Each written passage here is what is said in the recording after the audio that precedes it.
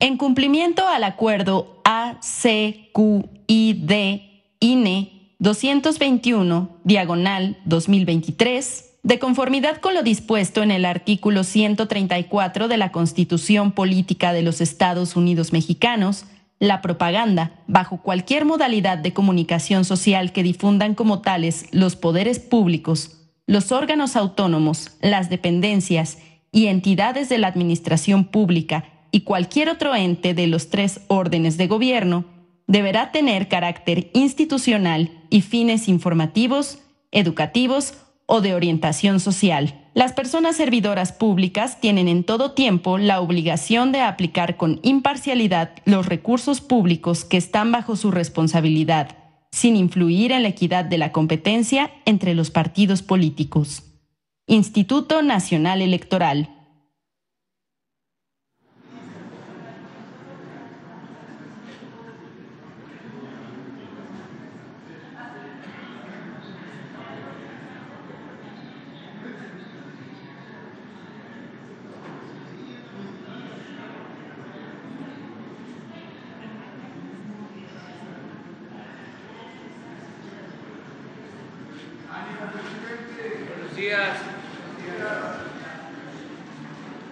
Ánimo. Ya empezó el frío.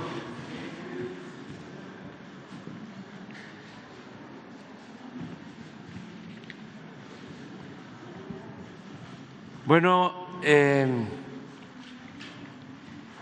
el día de hoy y mañana lo dedicamos a recordar a nuestros difuntos.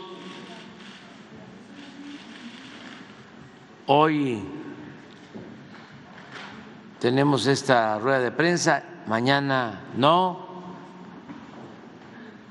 Regresamos hasta el viernes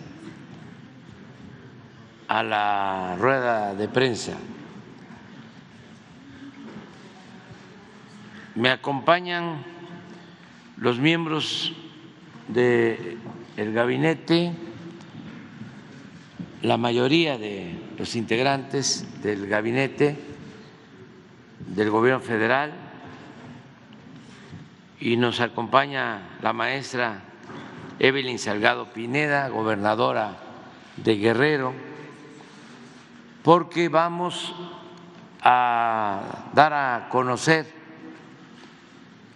la propuesta básica para seguir ayudando a la gente en Acapulco, en Coyuca de Benítez, quienes fueron afectados por el huracán Otis.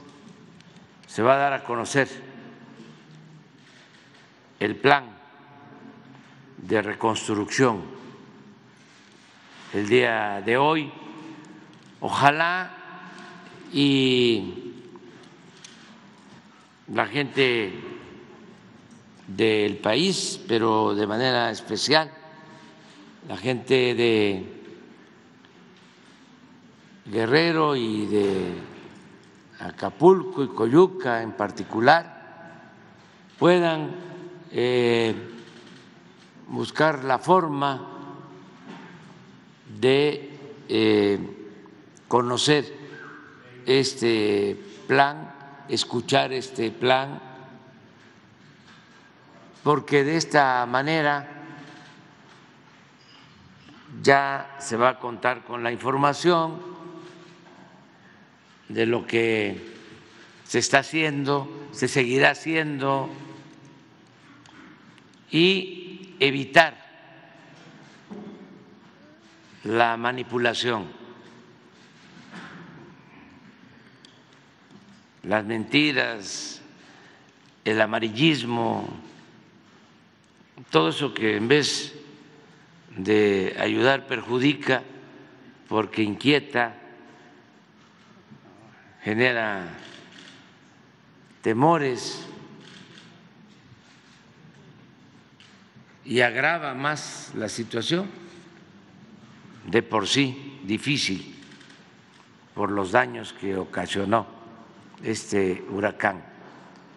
Entonces, que se tenga toda la información y el mensaje es de que no están solos los afectados, los damnificados, cuentan con el apoyo del pueblo de México, que siempre es muy fraterno, muy solidario, y desde luego con el apoyo del gobierno.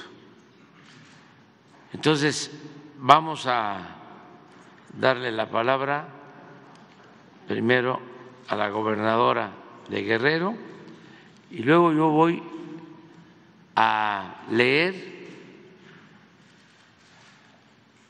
los puntos básicos de este plan de reconstrucción, en qué consiste este plan para beneficio de la gente de Guerrero y de Coyuca.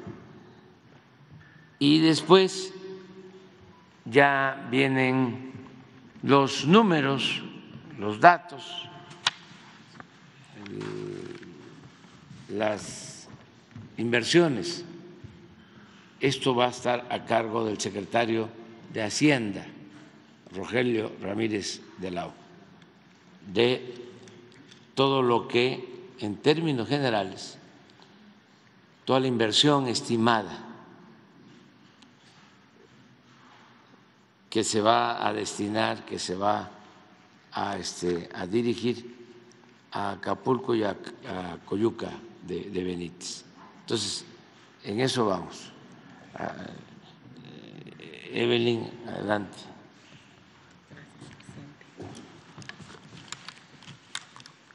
Muchas gracias. Buenos días. Con su permiso, señor presidente. Eh, bueno, quiero iniciar con un agradecimiento a todas y a todos los que están apoyando a nuestro Estado de Guerrero en estos momentos tan difíciles, tan complicados.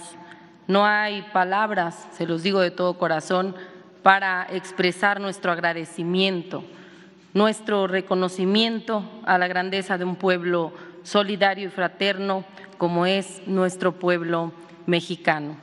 Agradecerle a usted, presidente, por todo su apoyo, por toda su solidaridad y su cariño para nuestro pueblo, a todas las instituciones que nos han apoyado, a Sedena, Marina, Guardia Nacional, a todo el Gabinete de Salud, a la Comisión Federal de Electricidad, a Bienestar por ese censo, a marchas forzadas que están realizando, eh, a todas y a todos los titulares que han estado con nosotros desde el inicio, desde el primer momento, realizando un trabajo extraordinario. De verdad, muchas gracias. Como lo hemos informado, el huracán Otis fue un fenómeno de condiciones extraordinarias que provocó una devastación enorme en nuestro estado, particularmente en Acapulco y en Coyuca de Benítez, un fenómeno sin precedentes que hasta el momento registra el lamentable fallecimiento, según las cifras de la Fiscalía General del Estado, de 46 personas, así como de 58 personas que se encuentran en calidad de no localizadas. Informar que ya nos contactamos con las familias de las víctimas para expresarles toda nuestra solidaridad y, por supuesto, todo el respaldo y todo el apoyo. Estamos reforzando el programa emergente de búsqueda. Lo hemos eh, reforzado con 31 eh, células de las comisiones nacionales y locales de derechos humanos, de la Secretaría de Gobernación y la Comisión Local de Búsqueda, que al momento han localizado con vida a 394 personas que no tenían ningún tipo de contacto con sus seres queridos con un despliegue total de más de 500, más de 1.500 personas. Trabajamos en la limpieza de todas las calles y avenidas. Hemos visitado las colonias y comunidades, llevando la distribución diaria de más de un millón trescientos mil litros de agua, eh, garantizando la entrega de más de 63 mil raciones diarias de alimentos a través de los distintos comedores y albergues, así como la atención médica de las familias afectadas con el despliegue de unidades médicas móviles especializadas en el Estado, las llamadas caravanas de la salud. Estamos trabajando a marchas forzadas desde el primer momento. En cuanto termine esta conferencia, nos regresamos de inmediato eh, a seguir atendiendo todas las colonias, todas las comunidades, tanto de Acapulco, de Coyuca, de los municipios afectados y tenemos la convicción, señor presidente, de que en unidad, con voluntad y con el apoyo de todo el pueblo de México vamos a salir adelante. Decirles que los guerrerenses somos un pueblo valiente, es un pueblo que sabe levantarse ante cualquier adversidad. No tengo duda de que con su ayuda y de todo el gabinete federal de todas y de todos los mexicanos que nos han expresado, manifestado eh, su apoyo y también incluso ayuda eh, pues de nivel ya internacional de otros países que también están brindando apoyo para el puerto de Acapulco y otros municipios. Y por supuesto que con el cariño de todas las y los mexicanos que nos han apoyado con todo el corazón, Acapulco volverá a brillar. Y yo quiero cerrar esta participación con un poema náhuatl que ejemplifica lo que estamos viviendo en Acapulco, algo sin precedentes, algo histórico, pero de lo cual nos vamos a levantar. Arrancaron nuestros frutos, cortaron nuestras ramas, quemaron nuestro tronco, pero nada podrá matar nuestras raíces. Acapulco nuevamente se pondrá de pie. Que viva Guerrero. Muchas gracias a todas y a todos. Gracias, señor. Bueno, voy a dar eh, lectura a la propuesta básica para ayudar a la gente de Acapulco y otros municipios afectados, básicamente Coyuca de Benítez. Este es el plan general de reconstrucción. Uno, apoyar con todo lo necesario a los familiares de quienes perdieron la vida por el huracán e intensificar la búsqueda de los desaparecidos, acompañando siempre a sus seres queridos. Dos, adelantar dos meses desde el lunes próximo el pago de todos los programas de bienestar, pensión a adultos mayores, a personas con discapacidad, becas, apoyo a productores, pescadores, a jóvenes y otros. Tres, incorporar a diez mil jóvenes más 10 mil jóvenes más se van a contratar del programa Jóvenes Construyendo el Futuro para realizar labores de limpieza, construcción, pintura y otras actividades. Y van a recibir un salario mínimo, el equivalente a un salario mínimo, esto a partir del día de hoy. Empieza la contratación de 10 mil jóvenes. Es ampliar el programa que ya se aplica en Acapulco y en todo el país de jóvenes construyendo el futuro. Cuatro, aumentará al doble el número de becas para estudiantes de nivel básico. Es decir, las becas en Acapulco pasarán de 45 mil a 90 mil becas de inmediato. Cinco, se establecerán seis meses de prórroga en el pago de Infonavit, Fobiste y del Seguro Social. Seis, no se pagará el servicio de luz, de energía eléctrica, de noviembre de 2023 a febrero de 2024. Siete, se entregará una canasta básica de 24 productos alimenticios por semana, una canasta básica a cada familia por semana con 24 productos. Se incluye a todas las familias de Acapulco alrededor de 250 mil familias damnificadas. Este apoyo que implica distribuir tres millones de canastas básicas se va a llevar a cabo durante tres meses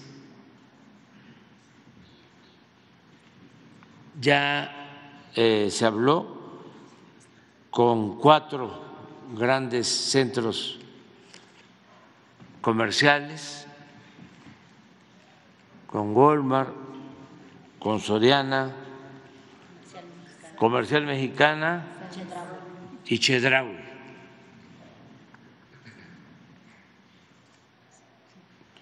Ocho se otorgarán a partir de esta semana a todos los hogares ocho mil pesos para limpieza y pintura a todos los hogares de Acapulco. Y a las viviendas afectadas desde 35 mil pesos hasta 60 mil pesos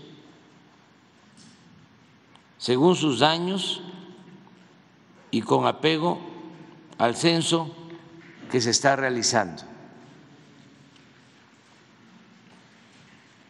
Hasta ahora se llevan censadas 50 mil hogares, pero no se va a esperar a terminar el censo ya eh, se va a empezar a entregar estos apoyos. En tanto, se sigue avanzando en el censo. Nueve, a todas las familias damnificadas se les entregará un paquete de enseres domésticos que consiste en una cama, una estufa, un refrigerador, un ventilador y una vajilla. Diez, se otorgarán 20 mil créditos a la palabra de 25 mil pesos sin intereses, pagaderos en tres años, con seis meses de gracia, en beneficio de pequeños comerciantes, dueños de talleres, fondas y otros prestadores de servicios. Once, el gobierno federal destinará del presupuesto público de este año 10 mil millones de pesos para el abastecimiento y mejoramiento de las líneas de distribución de agua drenaje, arreglo de calles, alumbrado público, hospitales, escuelas.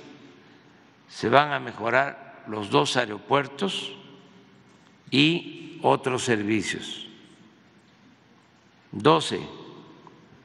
No se cobrarán impuestos ni en Acapulco ni en Coyuca desde octubre, desde el mes pasado, hasta febrero de 2024. ¿Qué no se cobrará? IVA, impuesto sobre la renta y otros eh, impuestos y derechos. Repito, ni en Acapulco ni en Coyuca. Trece. Se establecerá en cada colonia de más de mil viviendas un cuartel de la Guardia Nacional con 250 elementos en cada uno para garantizar la paz y la tranquilidad de todos los ciudadanos y evitar el robo en vivienda, en establecimientos comerciales, en gasolinerías, en el transporte de mercancías, en la distribución de gas, para lograr lo más pronto posible la normalidad en la convivencia y la convivencia pacífica en la vida pública. 14. Nacional Financiera otorgará créditos sin intereses para pequeñas y medianas empresas. 15. La Secretaría de Hacienda apoyará con el pago de la mitad de los intereses a quienes soliciten crédito. Esto va destinado a 377 hoteles de Acapulco. Si contratan créditos con la banca comercial, desde luego para restaurar, rehabilitar los hoteles, la mitad de los intereses los va a absorber la Secretaría de Hacienda.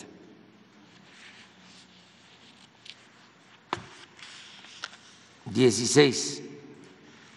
La Secretaría de Infraestructura y Comunicaciones destinará 218 millones de pesos de su presupuesto actual para rehabilitar la autopista Acapulco-Chilpancingo, así como la carretera federal, los dos libramientos que conectan la Costa Grande con la Costa Chica de Guerrero, puentes y otras obras viales. Ya se está avanzando en estas obras, ya hay comunicación que no había, tanto en la autopista como en la carretera federal libre a Acapulco y ya se restableció también la comunicación de los libramientos de la costa grande hacia la costa chica para no eh, tener necesariamente que pasar por la costera.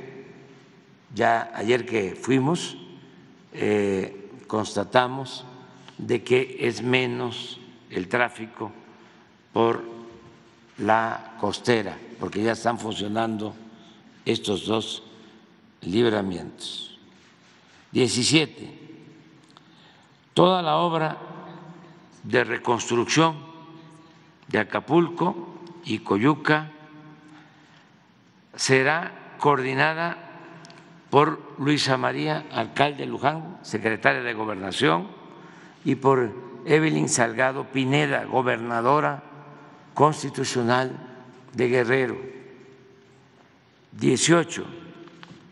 Nuestro especial reconocimiento a los trabajadores y directivos de la Comisión Federal de Electricidad por su eficaz trabajo sin precedentes en casos de emergencia en el mundo. Pues en una semana,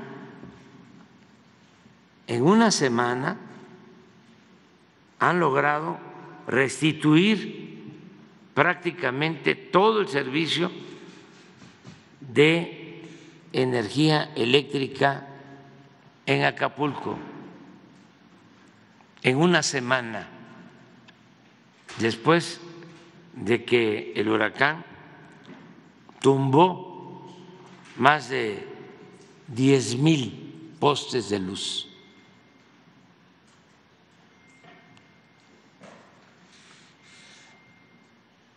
Estuvimos eh, pensando en poner 100 por ciento pero todavía hay poquitos lugares sin energía. Sin duda, eh, en estos días se llega al 100% del restablecimiento del servicio eléctrico en Acapulco, gracias al trabajo comprometido, eficaz, responsable de los trabajadores de la Comisión Federal de Electricidad, a los directivos, a todos los que desde el primer momento se trasladaron allá con equipos y a colocar postes, trasladar postes hasta por helicóptero, levantar las torres de la Comisión Federal de Electricidad, eh, líneas de electricidad eh, que ya están colocándose, eh, ya Ayer está prácticamente alumbrado de nuevo todo Acapulco ayer por la noche, tarde noche. 20, 19. También queremos subrayar, destacar el trabajo responsable de 19 mil soldados marinos y elementos de la Guardia Nacional. Tres instituciones, la Defensa, la Secretaría de Marina y la Guardia Nacional. Hay 19 mil elementos de estas tres instituciones trabajando desde el inicio de la tragedia, responsables de aplicar los planes de auxilio a la población y llevar a cabo labores de limpieza, levantamiento de árboles, abasto de despensas, de agua, atención médica, traslado de enfermos y seguridad pública. 20. En especial nuestro reconocimiento al pueblo de Acapulco y de Coyuca de Benítez, que a pesar de estar afectados, a pesar de la tristeza, no han perdido la fe siguen luchando por la vida y juntos lograremos pronto, muy pronto, volver a poner de pie al bello y nostálgico puerto de Acapulco. Este es el, el plan Y ahora eh, se va a dar a conocer toda la inversión que estimamos. Eh, es importante decir, en lo general, que contamos con presupuesto para eh, financiar todas estas necesidades, estos programas, y que no los consideramos eh, o no consideramos el destinar estos recursos como gasto, sino es una inversión. Afortunadamente tenemos finanzas públicas sanas y se cuenta con los recursos sin límite cuando se trata de beneficiar al pueblo. Entonces, el secretario de Hacienda va a informarles cuánto estimamos.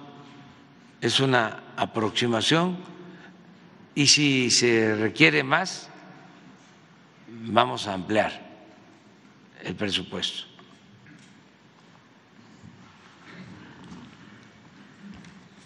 Permiso.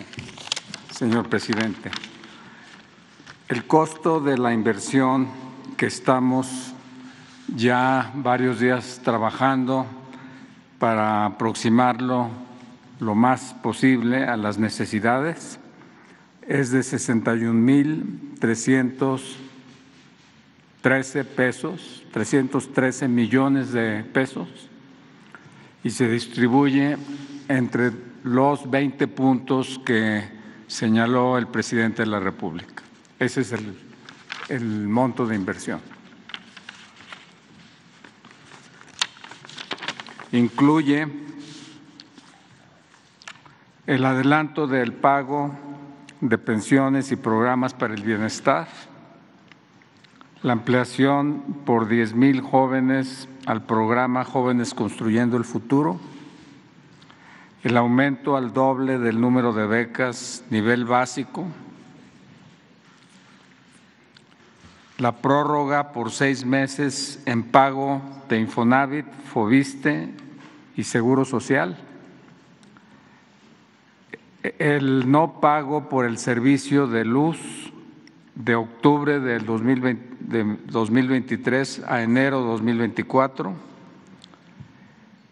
la entrega de la canasta básica semanal para 250 mil familias durante tres meses, el apoyo para viviendas de 8 mil a todas las viviendas y 35 mil hasta 60 mil pesos según el grado de afectación, de acuerdo con el censo, el apoyo para locales, 45 mil pesos para los locales afectados, créditos a la palabra de la financiera del bienestar,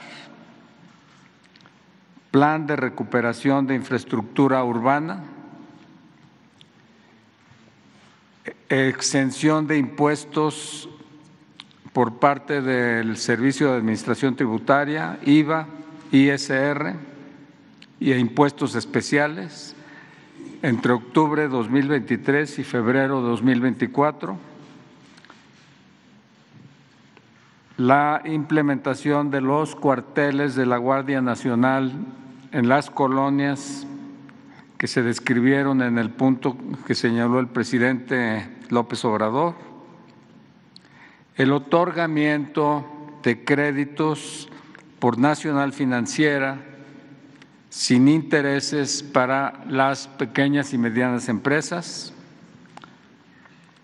el otorgamiento por parte de la Secretaría de Hacienda del pago de la mitad de los intereses para los créditos otorgados por la banca comercial a 373 hoteles de Acapulco, la rehabilitación de la infraestructura carretera, los paquetes de enseres domésticos dañados por la inundación, la recuperación de la infraestructura de energía eléctrica por parte de la Comisión Federal de Electricidad,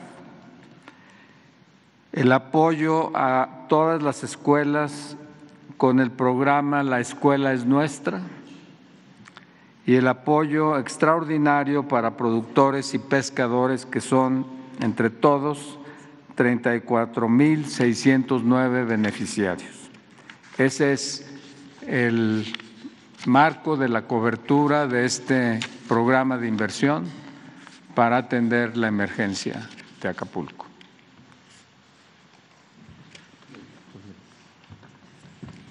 Bueno, pues eso es lo que queríamos informar y abrimos para preguntas. Eh, quedaron pendientes algunos compañeros ayer, creo que dos o tres, pero no tengo aquí.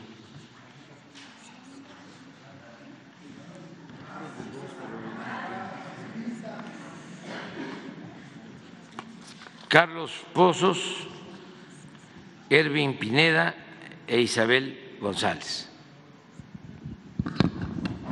Eh, buenos días, eh, presidente de todos los mexicanos, eh, a todos los servidores públicos que aquí nos acompañan, a los colegas. quisiera, si usted me lo permite, señor presidente, también enviar un saludo a todos los pobladores de Guerrero y principalmente a mis vecinos de la colonia Llano Largo de Navidad. Les envío un saludo y toda mi solidaridad.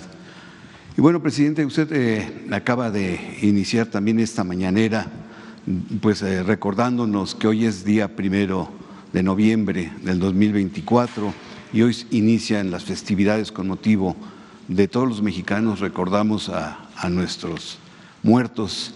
Yo quisiera, si usted me permite, con todo respeto, leer una carta que, una, una calaverita que hizo nuestro equipo de Lord Molecula eh, para usted, eh, con todo respeto, eh, redactado por nuestra colega reportera Brenda Fonseca. ¿Me permitiría leerla? Sí.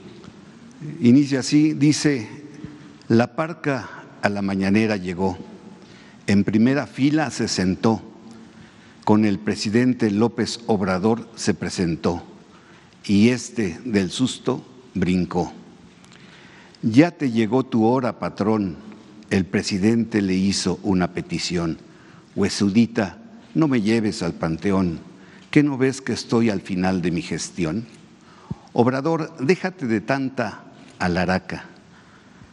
Ya te cargó la calaca. Olvídate de la polaca y es hora que te tires en la maca. López Obrador intentó una persuasión. Calaquita, es tiempo de la cuarta transformación y no le puedo fallar a la nación. Dame chance de acabar con la corrupción. La flaca le respondió con voz omnipotente, ok, te dejo entre tanto muerto viviente, confiado plenamente en que serás el mejor presidente. Esta es una humilde. Gracias, señor presidente. Bueno, eh, también usted el pasado 17 de octubre me dejó de tarea buscar cuántas ocasiones en los informes anteriores de sexenios se había pronunciado la palabra austeridad. Comentarle, presidente, eh, ya le mandé la información a Jesús, la tarea en 24 años eh, de los eh, gobiernos neoliberales, con Ernesto Cedillo, Vicente Fox Quesada, Felipe Calderón y Enrique Peña Nieto, se hicieron alusión a la palabra austeridad únicamente en 40 ocasiones durante sus informes de gobierno.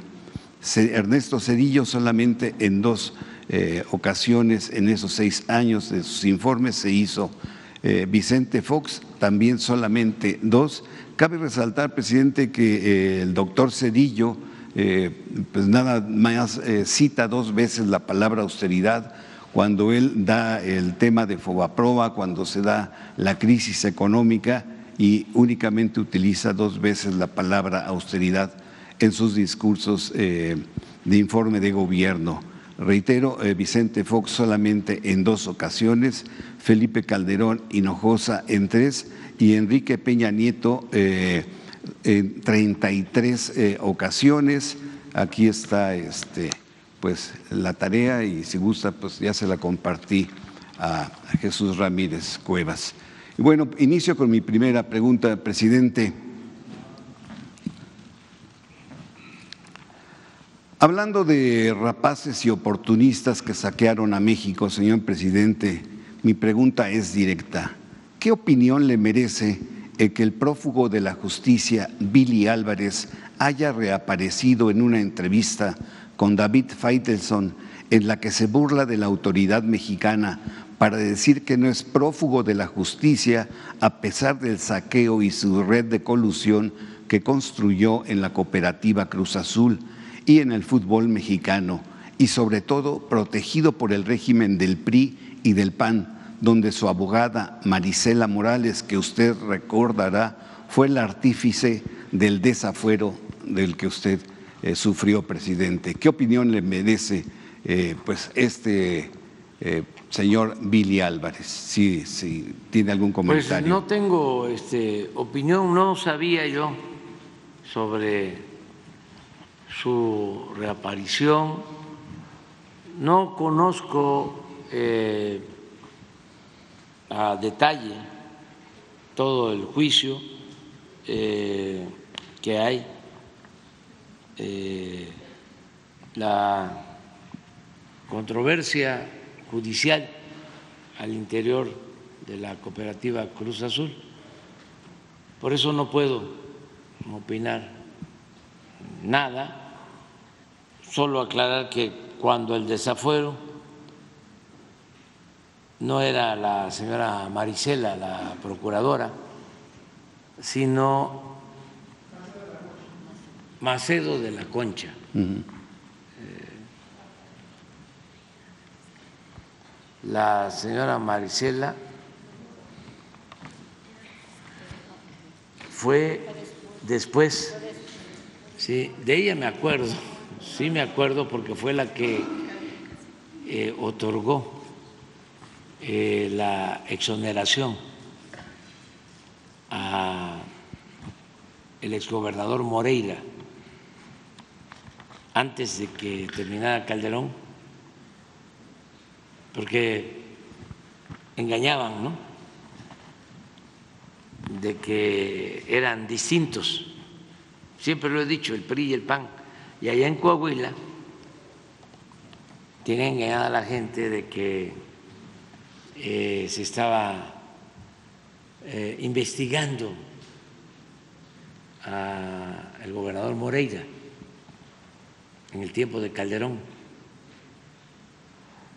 que se estaba haciendo una auditoría, incluso hasta se le detuvo en España.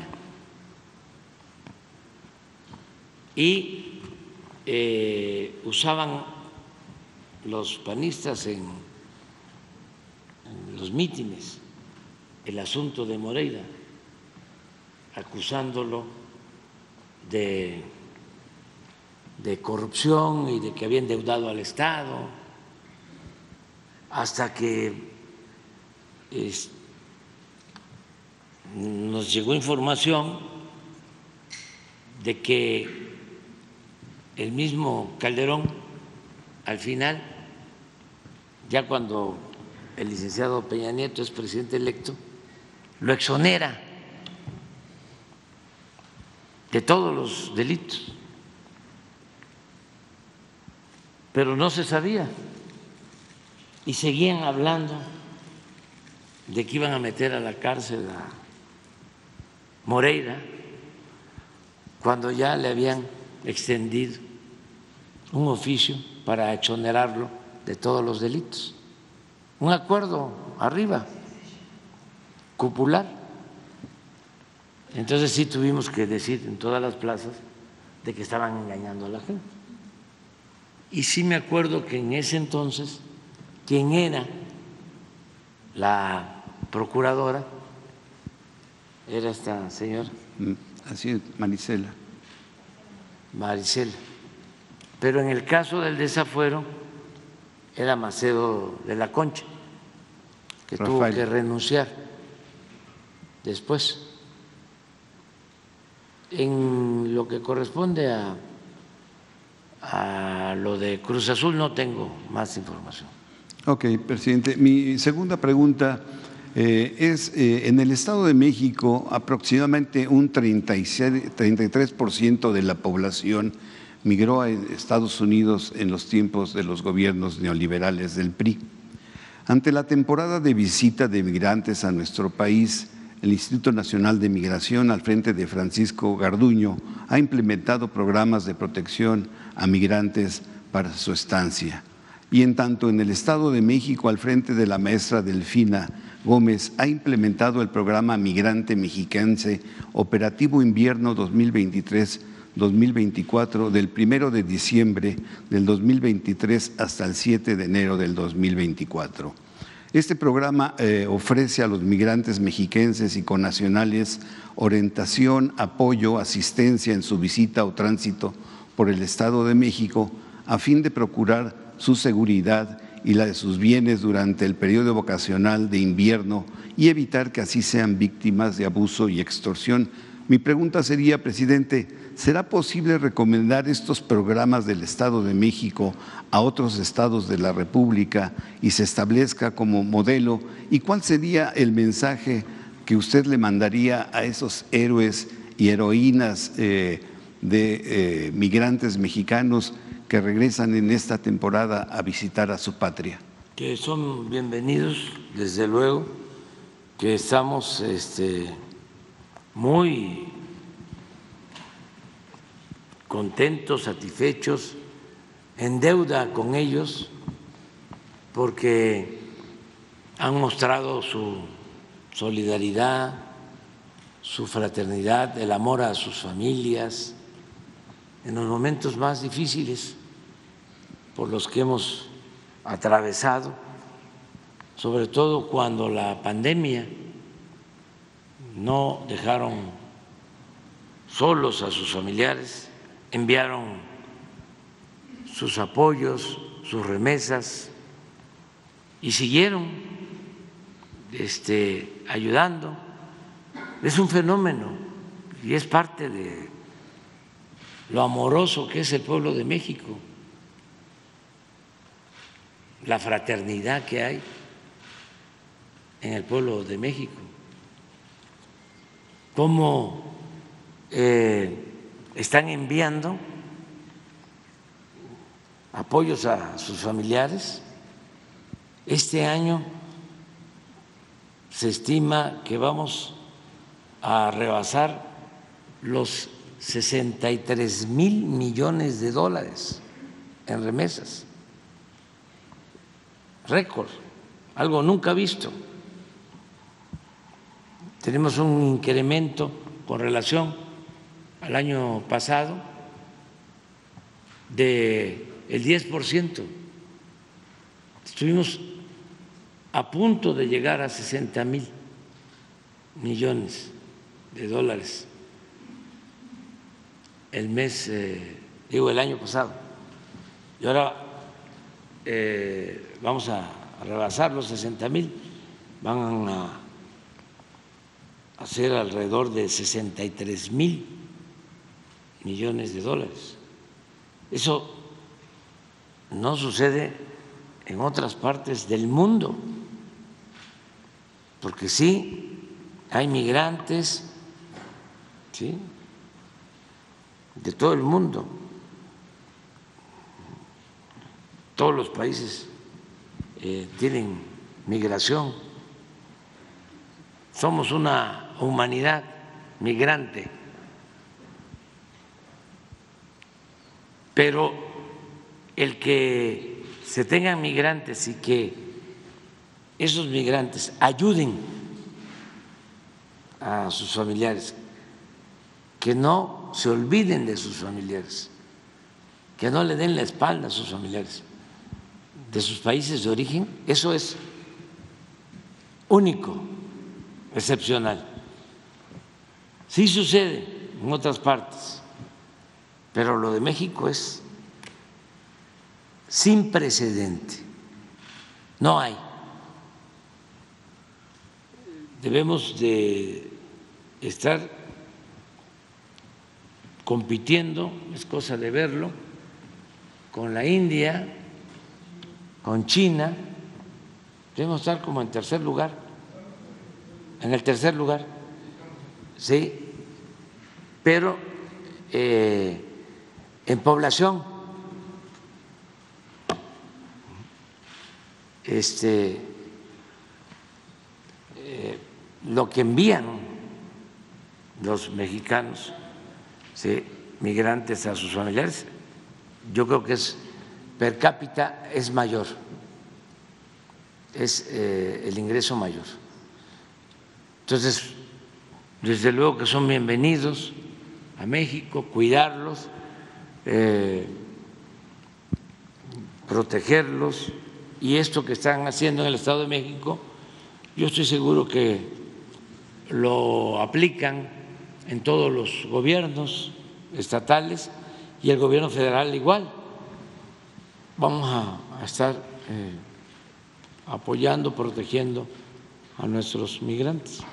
Perfecto, presidente. Y finalmente, usted eh, nos ha pedido aquí eh, investiguemos de dónde tienen tantos millones y bienes los voceros del conservadurismo, de los medios de manipulación tradicionales, y para muestra un botón los ingresos del periodista Joaquín López Dóriga Velandia, con 55 años en la profesión del periodismo, siendo pasante de abogado, nació en Madrid hace 76 años y ha sido favorecido con diversos contratos desde que eh, comenzó trabajando, donde lo conocí en el Heraldo de México, ahí fue columnista de la columna en privado. Eh, todos los millones reportados eh, con esas adjudicaciones no se explican en su totalidad los bienes eh, que se ha reportado la familia López Dóriga, en los que destacan seis departamentos de lujo en el Club de Golf Bosques, otros siete en la colonia Polanco, en la misma Ciudad de México, un lujoso yate valuado con 40 millones eh, de pesos en Acapulco, y una suite residencial en Villa Alejandra, también en Acapulco. Eh, este periodista es dueño de Astron Publicidad y de ACLA Comunicaciones, donde hacía campañas publicitarias para el propio los gobiernos de, México en los tiempos de Felipe Calderón, Fox y eh, Peña Nieto. Eh, su estancia en el noticiero cobraba 200 mil pesos mensuales por conducir el noticiero de Televisa. Eh, su yate, como lo comenté, eh, valorado en 40 millones de pesos mexicanos, un reportero como nosotros, los aquí presentes, con un salario mínimo profesional, pues tendríamos que trabajar los siete días de la semana en forma ininterrumpida por 594 mil años, presidente, para poder tener ese yapte. Eh, tiene una mansión tipo castillo en España, donde nació, un apartamento en Miami junto con Loret de Mola y otro, como le reitero, en Polanco y casas en el Pedregal. También se ha, se ha, visto envuelto en un escándalo por haber recibido un cheque de 10 mil millones de pesos eh, por eh, campañas políticas en tiempos de transición entre eh, Calderón y Peña Nieto. La fuente es eh, de un ex reportero de Televisa y fuente de Internet.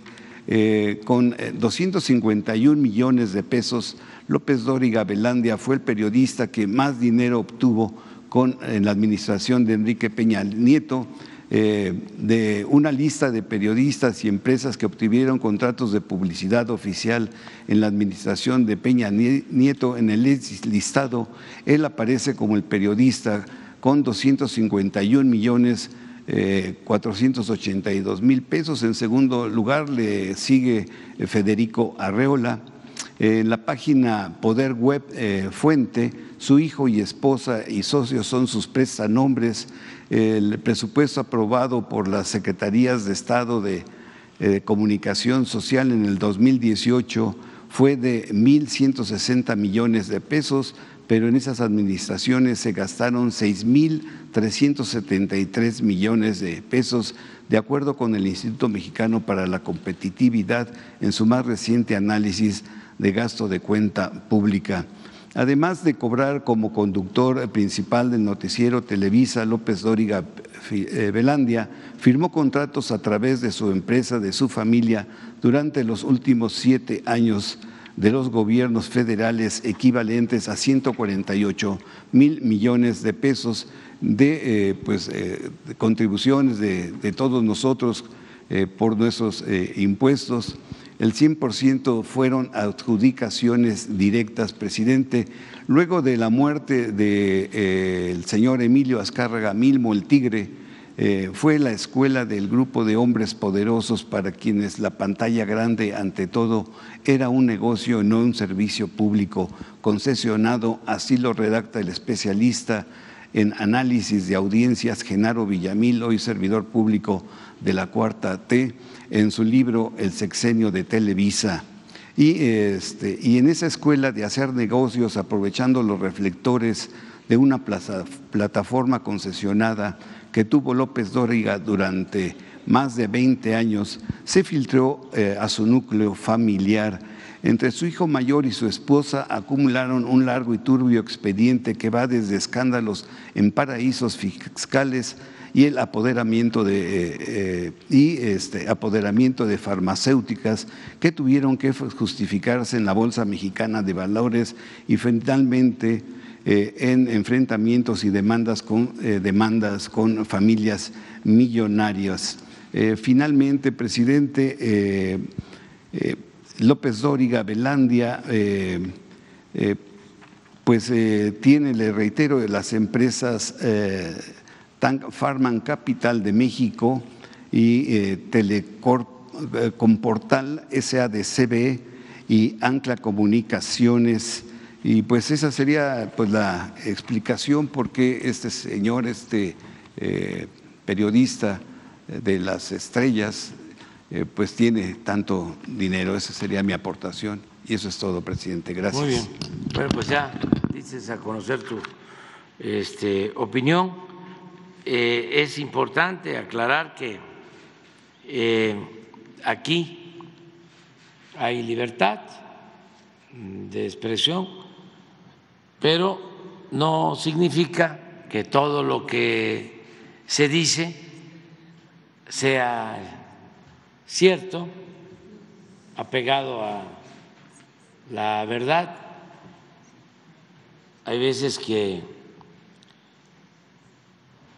no eh, es creíble todo. Eh, por ejemplo, lo de los montos, en este caso, yo lo digo con todo respeto a Carlos Pozos, se me hace muchísimo. Porque se habla de miles de millones. Puede ser que sean cientos o mil millones, eh, que es bastante, pero creo que cientos de millones. Pero miles ya es, este, son palabras mayores. Y eh, hay niveles Siempre hemos hablado de esto. Los que sí tienen miles son los dueños de los medios. Y eso no todos. Hay como los que aparecen en la lista de los hombres más ricos del mundo. Por ejemplo, no sé, ¿por qué no pones la lista de los de Forbes, de los más ricos de México, de los 10? Y ahí no está este, Joaquín ni eh, Loret ni ¿cómo se llama el que gana más de todos que está en Estados Unidos? Jorge Ramos, sí. No, no, no, no, no llegan. Estamos hablando de grandes ligas, pues. Este, luego hay la triple A, luego la del Pacífico, la mexicana. Este, hay niveles, pues. Eh, y luego la tranviarios, este, eh, la de los municipios, ¿no? Pero para tener una, una idea, eh, sí tienen, ¿sí? y además eh, es su trabajo, les pagan muchísimo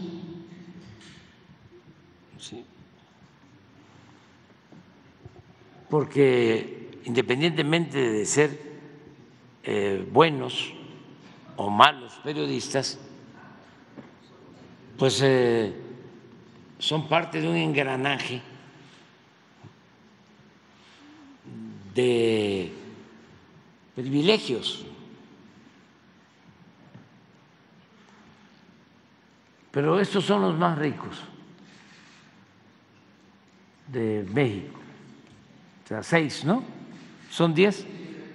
Pero Carlos Slim, pues es el más rico, tiene 93 mil millones de dólares, según la revista Forbes.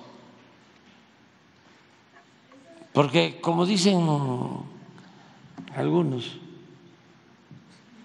hay niveles, pues. Pero yo a veces digo, ¿Por qué te ofendes? Este, si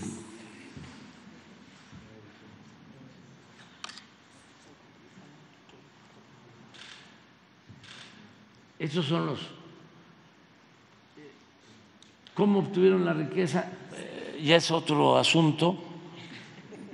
Y lo que sí tiene que reconocerse, algunos de ellos,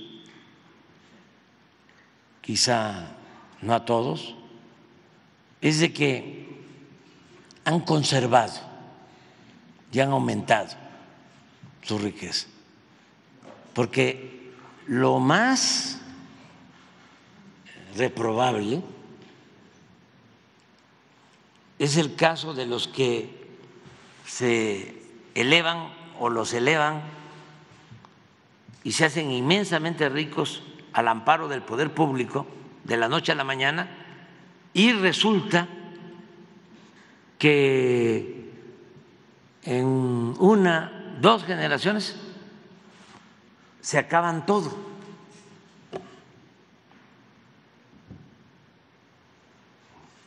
Eso es lo más cuestionable desde mi punto de vista. Pero, a ver, pero regresa. Sí, pero el primero es Carlos. Luego Larrea, que es minero. Sí hay diferencias, fíjense que de 93 mil a 26 mil. Porque Carlos sí aparece entre los más ricos del mundo. También ahí hay en los últimos tiempos algo eh, inexplicable, desproporcionado, de cómo eh, de la nada empiezan a surgir personajes que tienen 250, 300 mil millones de dólares y no eh, tienen inversiones productivas sino todo básicamente está relacionado con la especulación financiera. Porque esa es otra diferencia. Una cosa es la actividad productiva y otra cosa es el mundo financiero, la especulación. La REA, que es minero, Ricardo Salinas, que es de Banco Azteca, la familia Servige, que es Bimbo, eh, Alejandro Valleres, que es el heredero de el señor Valleres, de Peñoles, sí, de don Alberto que falleció, aparte, aparte, y la señora María Asunción Arambú Zavala, eh, del grupo Modelo y también de desarrollo este, inmobiliario y una mujer de de empresas, de negocios. A ver, seguimos adelante, las siete. La señora Eva Gonda de Riviera, de Rivera y familia, no sé exactamente a qué se dedica. Eh, Juan Domingo sí, él es del tequila Tequila Cuervo. Ah, la señora Garza Lagüera, sí, de Monterrey. Sí, ellos siempre han tenido. Cuando empezaron a hacer estas listas, sí, la familia eh, de, de los más ricos, Don Forbes, cuando comenzaron a hacer estas listas de los más ricos, antes de Salinas, la única familia que aparecía con dos mil millones de dólares era la familia Garza, Garza Lagüera, Garza Sada. Este, él, la única.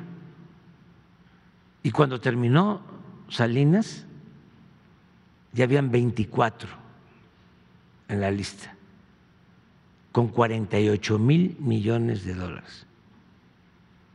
O sea, es nada más para tener una idea de lo que significó la transferencia de bienes de la nación, bienes del pueblo, a particulares.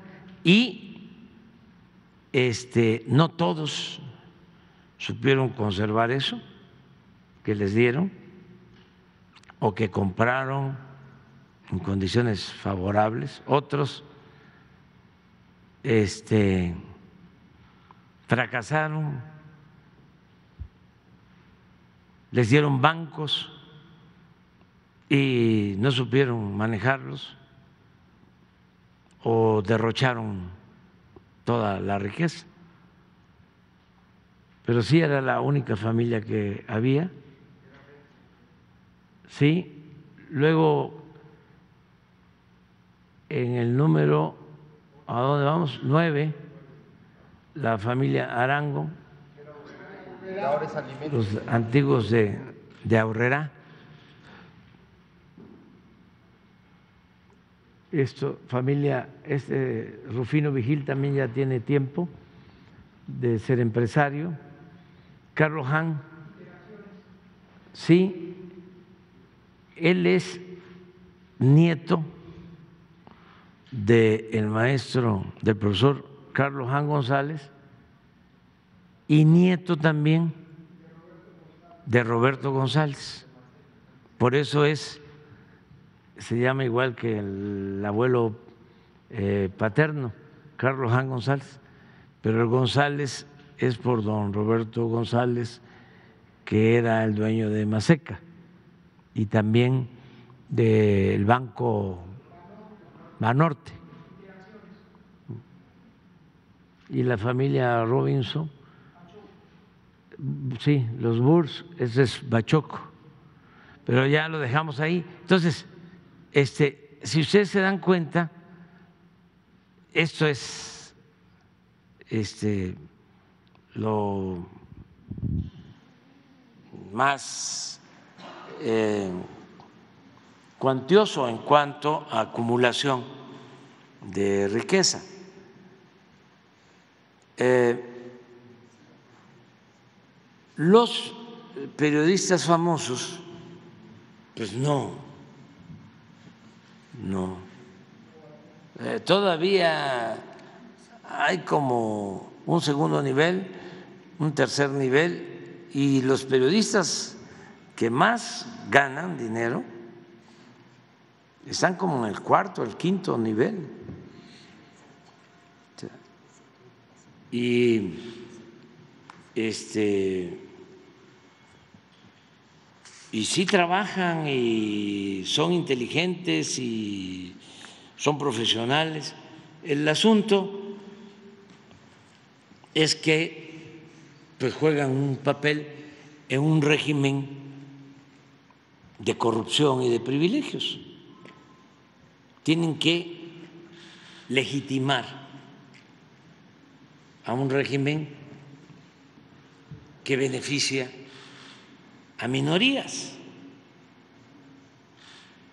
Son eh, pues eh, partes de eh, el sistema de los gobiernos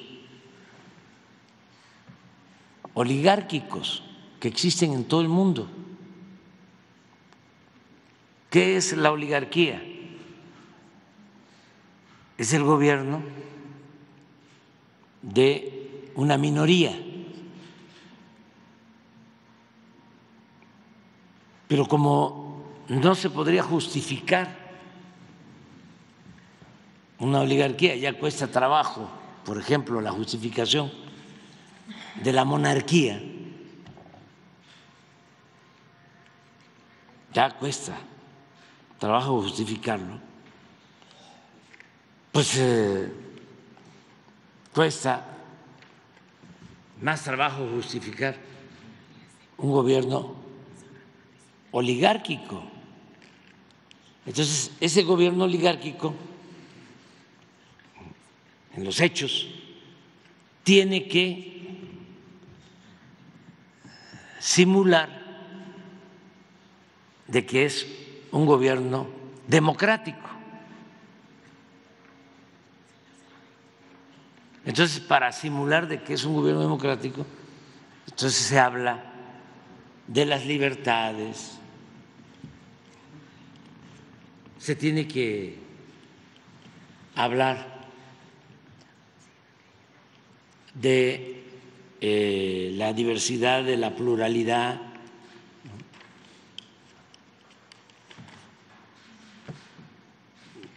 de gobierno de todos, pero es demagogia.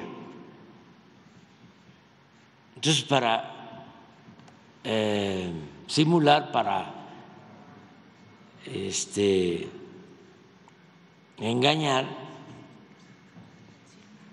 pues necesitan la demagogia y ese es el papel de algunos medios de información. este, buscar manipular y ocultar cosas, callar. Hay muchísimas cuestiones que pasaban antes que el pueblo de México no sabía. ¿Y cuántos eh, periódicos habían, muchísimos. ¿Y cuántas estaciones de radio? Miles. Y canales de televisión, muchísimos. Y además con cobertura casi total. Y sin embargo la gente no sabía de todo.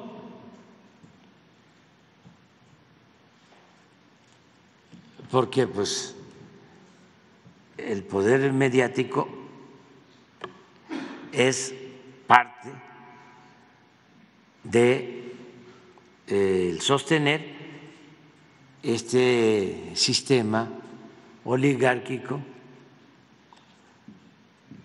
no es un gobierno del pueblo, para el pueblo, con el pueblo, que eso es la democracia. Eso es lo que me recomendó el migrante en San Quintín, que es lo que aplicamos y que no debería de molestar a nadie. Me dijo, así como el presidente Juárez se paró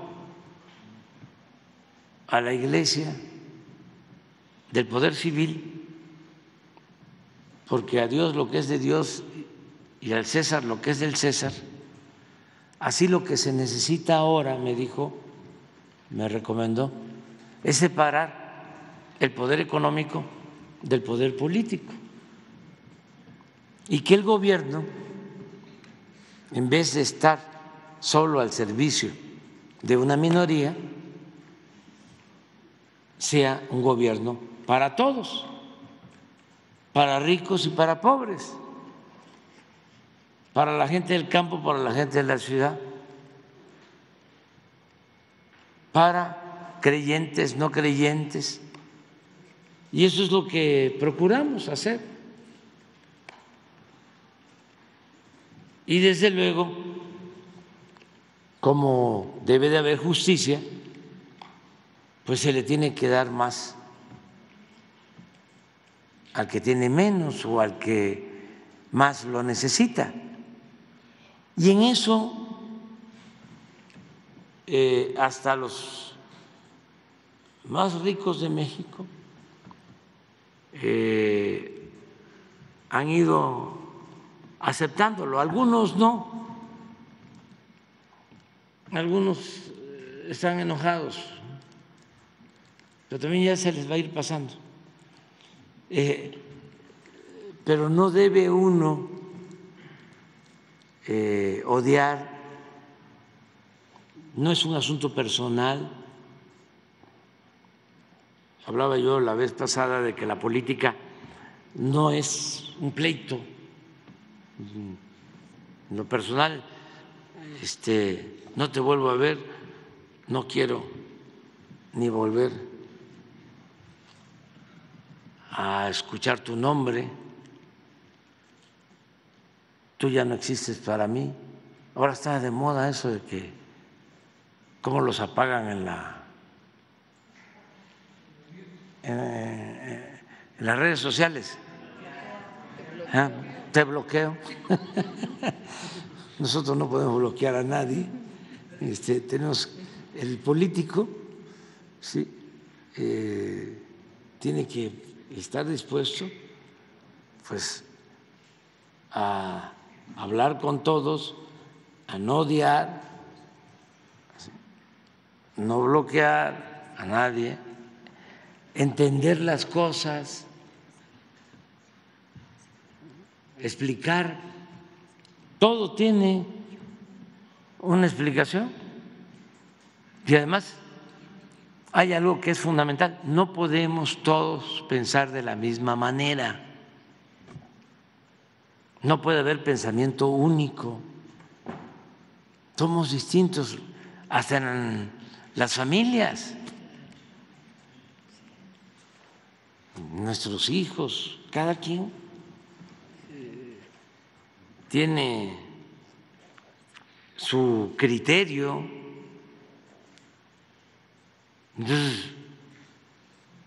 Aprender a ser respetuosos con todos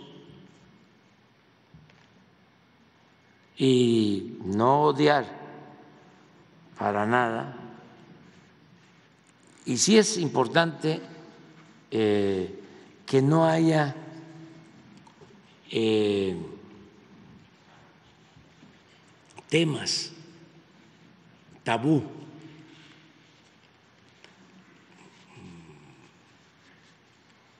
Eh, que no sea como antes de que no se podía tocar al intocable, ¿no?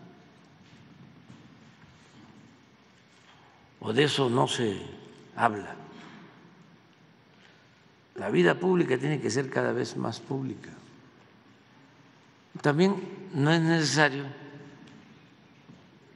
insultar, decir groserías.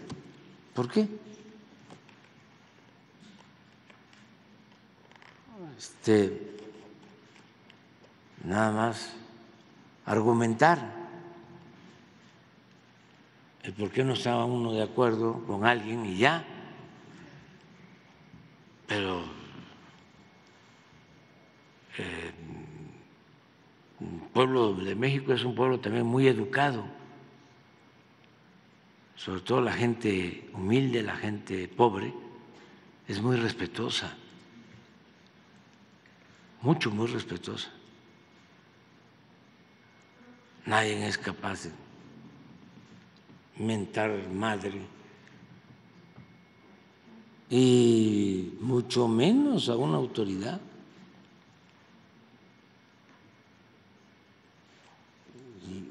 La gente del pueblo respeta mucho a las autoridades, hasta este, en exceso, porque hay autoridades que no respetan al pueblo y sin embargo el pueblo los respeta.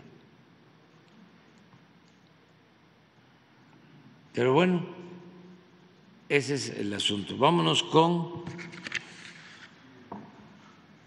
Erwin. Hola, un poco rápido porque también está Isabel, ahora sí que formada en la lista de preguntas. Eh, ¿Usted comparte esta eh, este pronóstico o esta estimación que han hecho empresarios en torno a que Acapulco se recuperará en dos años? Es decir, en dos años eh, lo podemos ver como estaba antes del paso del huracán Otis. Yo pienso que menos tiempo. Yo pienso que en menos tiempo. Este, bueno, eh, es una semana ¿no? de esta tragedia, se está cumpliendo ahora. Ayer entró a las doce y media de la noche de hoy, hace ocho días, y ya se restableció prácticamente el servicio eléctrico. ¿Ya está al 100%? Casi al 100%. Íbamos a ponerle al 100%, pero faltan eh, algunos sitios y para que nuestros adversarios no fueran a decir este, mentira, no está al 100%. Miren, aquí estoy este, en un hogar, ¿desde cuándo no tiene luz? Y se hace el gran reportaje. Entonces, mejor, ¿cómo le pusimos a ver? Matizamos. Sería como al 95%. Más del 90%, vamos a, pero no quisimos ponerlo así. Bueno, vamos a este, dejarlo para. Dijimos prácticamente, pero realmente no lo hace nadie en el mundo. Ningún eh, equipo de, de trabajadores electricistas del mundo hace lo que llevaron a cabo los electricistas de México. Y esto no es nuevo, ¿eh? Eh, cuando la nevada en Texas, allá tardaron creo que más de un mes en restablecer el servicio. Y aquí se restableció con menos efectos, desde luego, en una semana. Entonces, ¿cuánto tiempo nos va a llevar eh, el que Acapulco vuelva a la normalidad en su totalidad va a depender más que nada de las inversiones que se hagan para eh, restaurar, restablecer eh, la hotelería. Pero las viviendas, lo que tiene que ver con la gente y el apoyo a la gente, y los servicios públicos, yo les diría que ya en diciembre se van a notar ya los cambios, ya para diciembre. ¿Antes del 25 de diciembre? Sí, queremos que para la Navidad sea distinta, que no sea una amarga Navidad, porque ¿qué va a significar este plan? Va a significar que en tres meses, noviembre, diciembre, enero, ellos, todos las familias, van a tener garantizados sus alimentos. Eh, van a tener ingresos adicionales para pagar su gas, por ejemplo. Eh, eh, muchos ya van a tener sus estufas, sus refrigeradores, lo que perdieron. Ya tenemos 10 mil, no, seis, ¿cuántos? Cinco mil. Cinco mil este, paquetes de enseres. Ok, o sea, el, paquete va a llegar físico, va a llegar el refrigerador, la estufa físicamente a los domicilios. Sí. Ok. Y, pero, eh, ¿de qué va a depender? O sea, estamos hablando de alrededor de 250 mil paquetes. Son 250 mil estufas, 250 mil refrigeradores, 250 mil colchones. La vez pasada, todo esto este, lo hacemos porque ya hemos enfrentado eh, otras eh, tragedias. Por ejemplo, atendimos a 200 mil damnificados cuando la inundación en Tabasco. Y como estaba pasando la pandemia, no fue fácil conseguir los electrodomésticos. Entonces nos llevó tiempo conseguir para entregar a todas las casas en Tabasco los electrodomésticos. Esto que hablamos de entregar ocho mil pesos de inicio para limpiar, pintar, arreglar, ya lo hicimos. O sea, lo hicimos en Tabasco, lo hicimos en Veracruz, lo hicimos en Oaxaca, en Hidalgo, o sea, ya eh, eh, lo hemos hecho. Entonces, eh, vamos a buscar la forma de seguir avanzando la construcción de vivienda.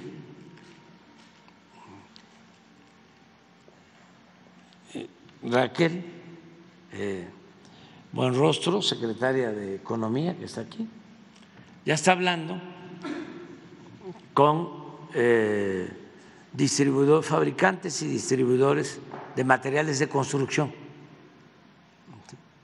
eh, para poner eh, centros en Acapulco de distribución de estos materiales con precios justos, que no haya abusos y todos están este, ayudando. Cementeros, los que venden varillas, eh, láminas y otros eh, materiales. Eh, entonces, ¿por qué? Porque son 250 mil viviendas, unas más afectadas que otras. ¿No tienes eh, la primera muestra que hicieron de viviendas más afectadas, menos afectadas? ¿No traes ahí? A ver, entonces... Es que es interesante esto. Entonces, no es hacer las 250 mil viviendas con empresas. Es autoconstrucción, porque la gente asume, como se han hecho las casas en México, la mayoría de las casas, ¿quiénes hacen las casas? Las mismas familias, contratan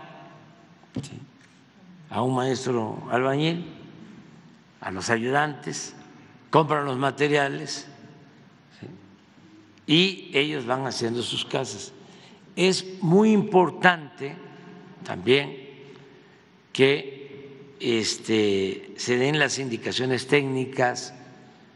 Eh, este huracán fue muy fuerte, muy fuerte, pero se tuvo la ventaja, entre otras, de que ya eh, hay más viviendas de concreto, de material. Entonces se resistieron, incluso el caso de los hoteles, hablábamos que no quedaron vidrios, eh, las paredes de, ¿cómo se llama el material? Tabla roca, todo eso, no quedó nada. Sin embargo, las estructuras, que hay que analizarlas también de todas formas, las estructuras quedaron de pie, las de concreto y de acero. Entonces, esta es una pequeña muestra de lo que llevan censado. Es una estimación, pero a partir de una muestra. A ver, ven.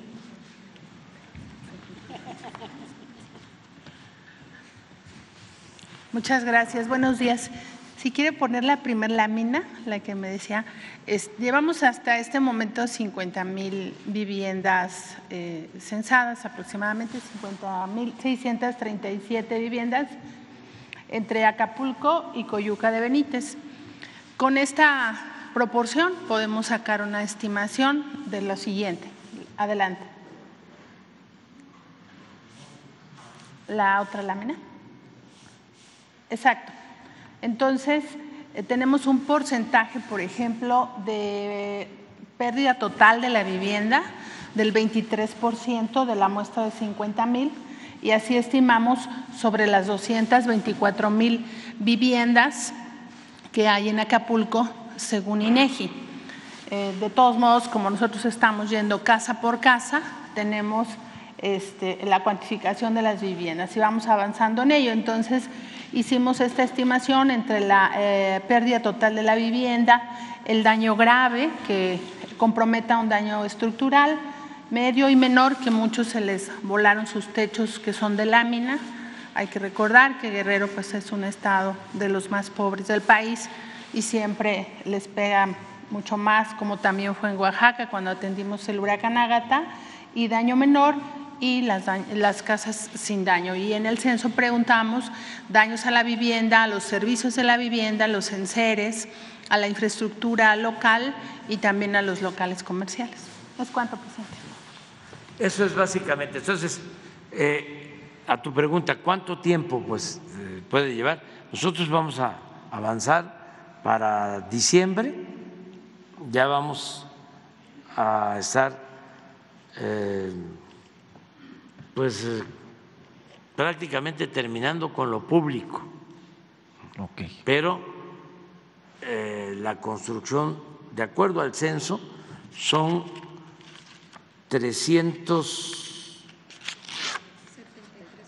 373 hoteles. Eso, eh, la rehabilitación, eso va a llevar más tiempo.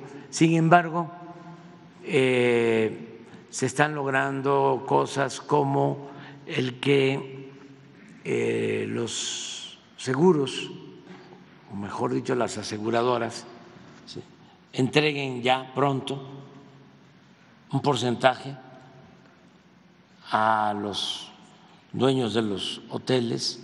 Eh, la banca comercial está dispuesta a ayudar entregando también este, rápido los créditos y nosotros estamos dando ese apoyo adicional de pagar la mitad del interés en los créditos. Entonces, las empresas constructoras van a tener, aquí en el caso de los hoteles, pues 333 o 37 frentes de trabajo. Y se puede avanzar. Las playas están ahí, la belleza de la bahía, que es única, eso está ahí. Este, es bellísimo Acapulco y es la parte material. Por eso eh, decíamos que lo que más nos duele son las pérdidas de vidas humanas, porque lo material, de una u otra forma, este, se restablece, se recupera, y lo vamos a hacer. Ok, y ya con este censo, usted va eh, determinan si les toca 8 mil, 20 mil o hasta 60 mil pesos, dependiendo de la gravedad del daño, y eso supongo se basa en un depósito. Sí, directo. Ok. También que eso es importante. O sea, se le entrega a la mamá, papá eh, de familia, este, y a ellos eh, se hacen cargo de administrar. Nosotros lo que vamos a hacer es, como comentaba, el que puedan eh, tener acceso a los materiales de construcción, que no haya abusos y este, pues en el pueblo, en todos los pueblos, hay trabajadores de la construcción, en todos los pueblos. Presidente, ¿cuál es la situación o la versión oficial que tiene el gobierno federal o el gabinete de seguridad de lo que pasó el día del huracán en el club de yates? ¿Cuántas personas desaparecidas tienen solamente de esa parte? ¿Cuántas personas se han rescatado? ¿Cuál es la versión oficial que tiene su gobierno?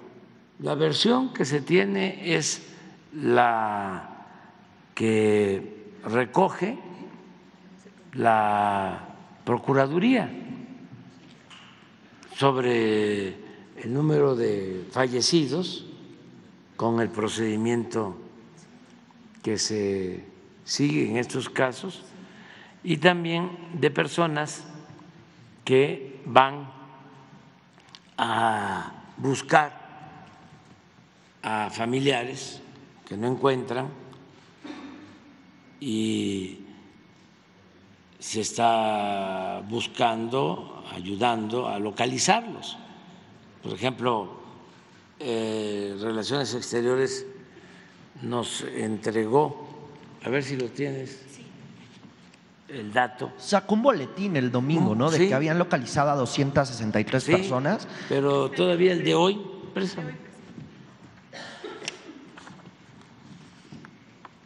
...348 este, localizados de los extranjeros y 17 no localizados. Pero de esos 17 no localizados, solo tres sí se tiene ya información de que lamentablemente perdieron la vida. Lo dijimos aquí desde hace dos o tres días. Eh, un canadiense, un estadounidense y un inglés. Pero eran residentes de Acapulco, no eran turistas. O sea, su origen es Estados Unidos, Reino Unido y Canadá, pero residían. O sea, vivían en, Acapulco. pues. Vivían ahí, en Acapulco. Entonces, eso es lo que tenemos. Eh, no hemos, eh, no se va a cerrar para nada. Este, esta lista son los que han fallecido y los que eh, están desaparecidos o eh, no localizados, porque uh, tú me entregabas ayer lo de los no localizados y que ya habían encontrado. Por lo mismo que no hay señal, no pueden comunicar. Sí, ¿por qué no lo explica? A ver, eh, sí, porque está un poco confuso ahí. Bueno, tenemos un programa que dijimos que se va a reforzar, incluso ahorita regresando a Acapulco, vamos a ampliar a 10 brigadas más de las que ya tenemos de búsqueda porque aún no se restablece al 100% eh, la conectividad, no se cuenta eh, pues con internet o para realizar llamadas telefónicas. Entonces muchos de ellos se fueron con sus vecinos a casas de otros vecinos, otros están eh, con familiares o están incluso en los albergues. Ya tenemos la lista y los nombres. Eh, con esta comisión de búsqueda lo que hacemos es que acudimos directamente a sus hogares, preguntamos, ahí es donde hemos encontrado pues la cantidad eh, mayor de personas y pues vamos a continuar con toda la búsqueda y localización de personas que han sido reportadas, incluso por familiares y amigos, como no localizados. Pero hasta el momento, la cifra preliminar que maneja la Fiscalía General del Estado es la que ya compartimos anteriormente. Gobernadora, y, pero por ejemplo, nada más aclarar la, situación del Club de Yates, que es lo que ha causado eh, muchísimo ruido. Eh, ¿Cuántas personas estaban ahí esa noche? Porque hay un reporte y una nota de una agencia internacional donde hablan que durante el huracán había 100 personas en ese Club de Yates, luego que había 30 eh, desaparecidos, luego vimos inclusive a personas que estaban en esa parte ahí, en la costera Miguel Alemán, buscando a sus familiares. Propiamente de ese punto, eh, ¿cuál es la información que usted tiene? Bueno, continuamos con la investigación. El informe que nos da la Fiscalía eh, General del Estado es que ellos continúan con la búsqueda. Es pues complicado porque también es eh, en el, en el mar. Muchos de ellos abandonaron eh, pues estos barcos, alcanzaron a resguardarse. Tenemos contacto con muchos de los capitanes de estos eh, yates, de estos barcos, eh, que obviamente pues tuvieron un aviso previo de lo que venía decidieron permanecer dentro de estas embarcaciones, pero hemos tenido contacto con muchos de ellos que en cuanto empezaron a ver los vientos eh, muy fuertes, pues ellos son hombres de mar, se dieron cuenta que no era algo eh, pues normal, eh, decidieron resguardarse, muchos de ellos incluso me comentan que se quedaron en el mar, debajo, eh, resguardados, porque ahí sintieron como que cierta calma, porque si se levantaban, los vientos eran tan fuertes, de alrededor de 330 kilómetros por hora, que no hubieran sobrevivido. Entonces ellos permanecieron en el mar resguardándose, es por eso que eh, sobrevivieron, tenemos contacto con ellos, les hemos brindado eh, todo el apoyo por parte del gobierno federal, del gobierno estatal y la Fiscalía General del Estado continúa con la búsqueda. Eh, si hubiera cuerpos eh, decesos lamentables, eh, ellos van a informar en su momento, pero la cifra preliminar que nos han dado ha sido esa. ¿A usted le tocó el huracán en Acapulco? Sí, por supuesto, yo estaba ahí, incluso en redes sociales hay una transmisión en vivo alrededor de las 11, 20 de la noche eh, una hora antes incluso de que el huracán llegara ya con vientos fuertes. Eh, ahí está, en las redes sociales, ahí está la transmisión, está el horario. Yo empiezo a comentar, estaba con mi hermana, estábamos eh, en el carro y empezamos a comentar que ya se estaban cayendo algunas ramas, que estaba lloviendo ya muy fuerte, que por favor no salieran de sus casas, que se resguardaran. Días antes incluso eh, tuve un aviso de cancelación de clases, de suspensión de clases para todo el Estado. Eh, suspendí el informe, el segundo informe de gobierno, días antes también tuvimos una reunión de manera virtual con todos los presidentes de la Costa Chica, de la Costa Grande, con la presidenta de Acapulco para informarles de cómo estaba la situación. En ese momento era tormenta tropical y estuvimos manejándolo de esa manera, siempre eh, en perfecta coordinación con el gobierno federal, con la Coordinadora Nacional de Protección Civil, que nos iba enviando información. Y bueno, pues después ustedes vieron que en 12 horas pasó de tormenta tropical a huracán categoría 5, pero una hora, hora y media antes del huracán, yo estuve transmitiendo en vivo pidiendo a toda la población que se resguardara. Estuvimos ahí, vivimos los estragos, todos tenemos, eh, pues, eh, no sé, pues daños de eh, cualquier índole, pero como bien lo dice nuestro presidente, los daños materiales poco a poco se irán recuperando. Lo que más nos lastima, lo que más nos duele, pues son estas pérdidas humanas. Por eso he instruido a todos los equipos, a todas las brigadas y personalmente estoy al frente de las brigadas de búsqueda y localización de las personas. Gracias, gobernadora. Gracias a ustedes. Presidente, y otra cosa, ¿no ha pensado en utilizar la mañanera para alertar las tormentas? Bueno, recuerdo yo que cuando empezaba la mañanera, algunas veces algunas tormentas tropicales se alertaban. Aquí, ¿no ha pensado en volver a alertar las tormentas tropicales aquí en la mañanera o cuando ya estos se convierten en huracanes? Lo hacemos cada vez que este, se necesita, se requiere. Mire, cuando eh, las inundaciones en Tabasco, andaba en una gira me acuerdo, en Nayarit y empezó a crecer eh, el volumen de agua en la presa Peñitas, ya de manera muy peligrosa.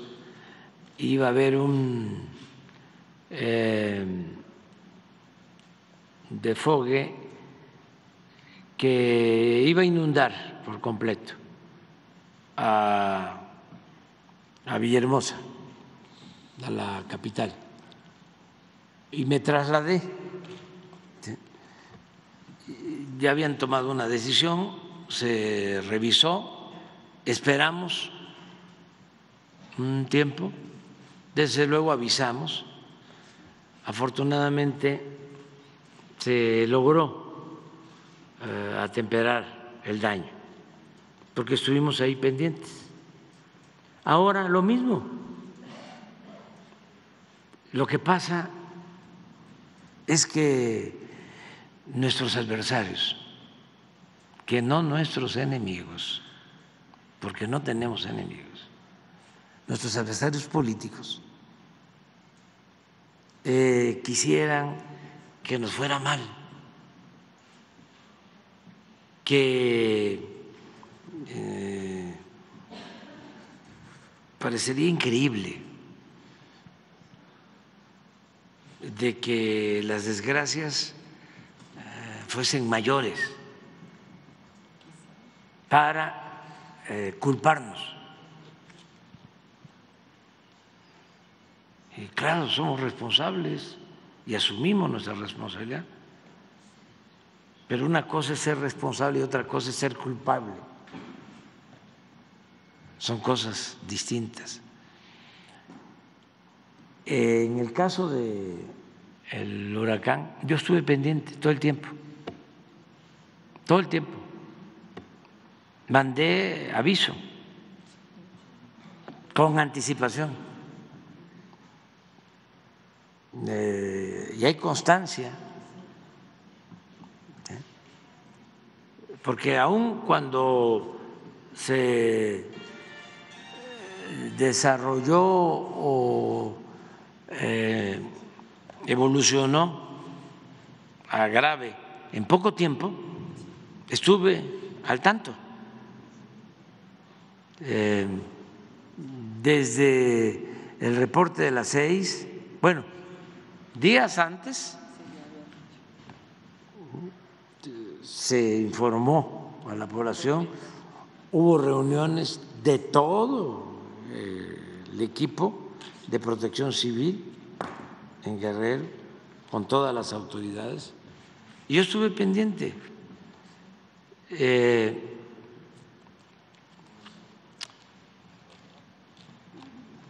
mi reporte fue de las 8.25. Sí, donde dijo que tocaría categoría 5, ¿no? que ya iba a tocar, tocaba tierra. Sí, que iba a llegar. Y la, la, equivocación, pues es porque así estaba el reporte, Entre era de que iba a entrar de 4 a 6 de la mañana. Y de Acapulco a Tecpan, en ese, en ese, en ese, este, eh, en ese tramo. De la costa. Pero no, se fue directo a Acapulco y por la velocidad, que eso también lo tienen que ver los especialistas, porque yo retomo el dato del centro de huracanes que oh, funciona en Estados Unidos. Y hay una eh, intercomunicación con todos los centros de América Latina. Se tiene comunicación constante. Entonces, eh, de todas maneras, hago el llamado a las 8.25 de la noche.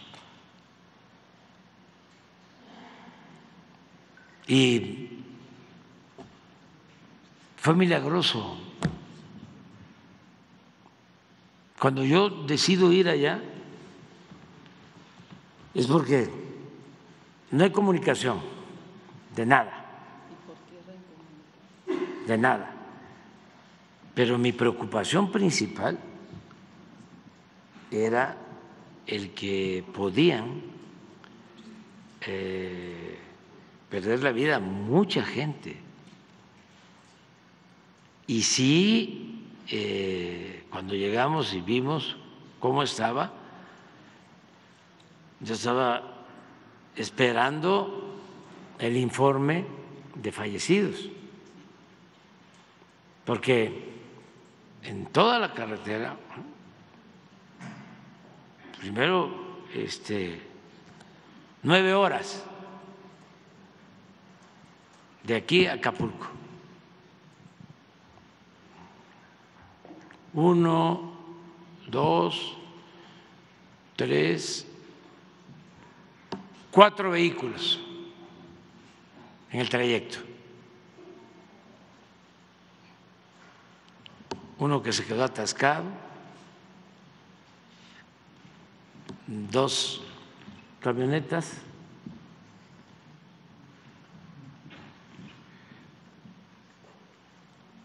eh,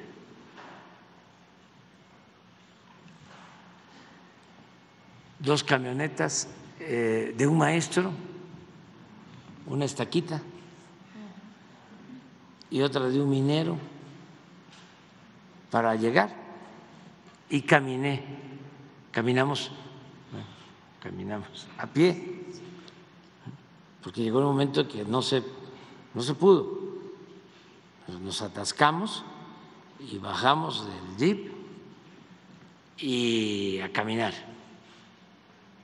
Y de todas maneras, si no nos hubiésemos atascado en ese sitio, les estoy hablando de 40 kilómetros, que fueron los más difíciles. Del 40, precisamente, del kilómetro 40 hasta Acapulco. De todas maneras, este, eh, si no nos hubiésemos atascado ahí, no hubiésemos pasado, este, porque estaba completamente desbordado el río Papagayo y se había llevado la carretera.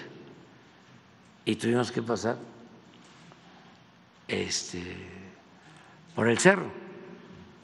Y del otro lado, un maestro con su camionetita nos llevó a otro lugar donde ya no se podía pasar, también rota la carretera, pasamos ahí caminando y eh, el minero nos llevó. Pero cuando llegamos a Acapulco, nada más de ver los árboles eh, y las casas y toda la destrucción, bueno, en todo el camino, y nos reunimos, pensamos en la base naval, eh, no, no podíamos eh, avanzar pues eh, 50 metros, ¿sí? porque estaban los árboles y estaban los postes tirados.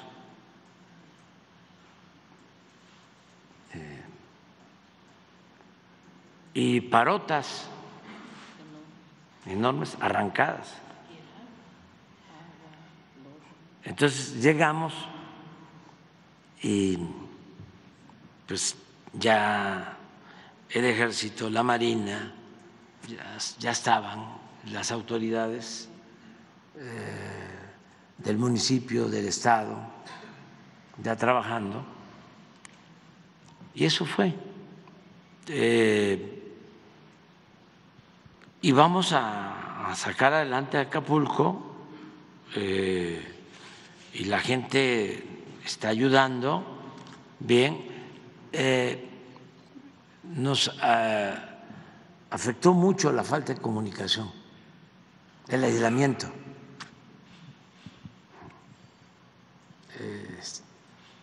porque si hubiésemos podido, tuve que grabar un mensaje para que lo pasaran en las colonias, pero estamos hablando de 270 colonias. No más, 500.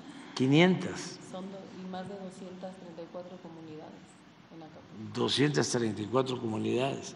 Entonces, la comunicación. Por eso, nuestro cuestionamiento respetuoso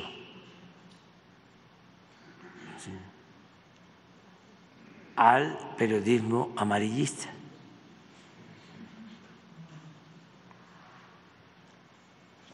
Eh, porque en esos momentos eh, no hay comunicación y si lo que se va a escuchar ¿sí?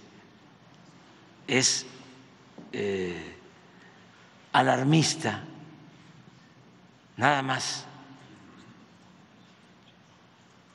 Por eso hablábamos de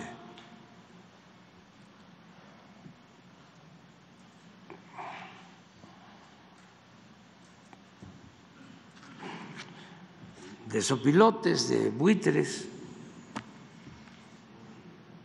Eso no se debe de hacer. No se puede utilizar el dolor humano con propósitos publicitarios, de rating, mucho menos ¿sí? como venganza. Si tienen problemas con nosotros, ¿sí? vamos a dirimirlos. Si este, no les cae bien el presidente o consideran que el presidente eh, los ha afectado, entonces contra el presidente, pero no contra el pueblo.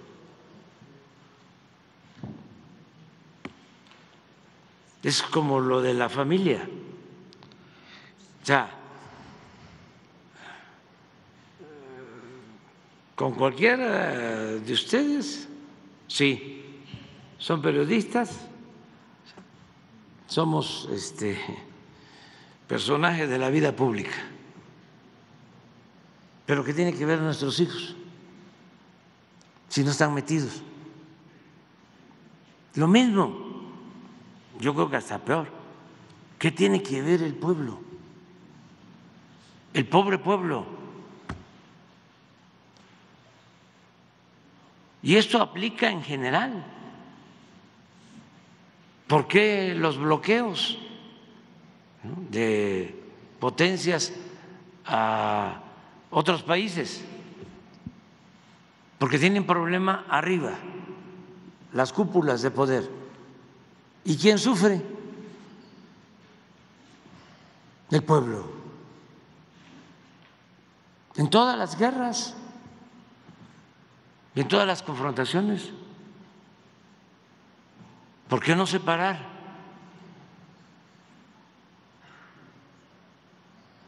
Pero bueno, eh, es entender de que debemos de ser profesionales y no es nada nuevo. Alguien dijo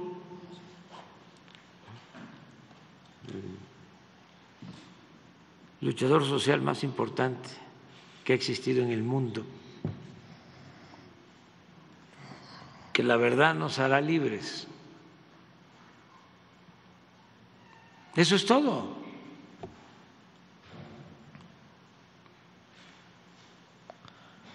Eso es todo.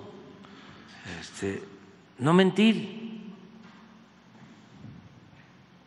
Y claro que ya dije, no podemos ser todos iguales y pues son concepciones distintas en una democracia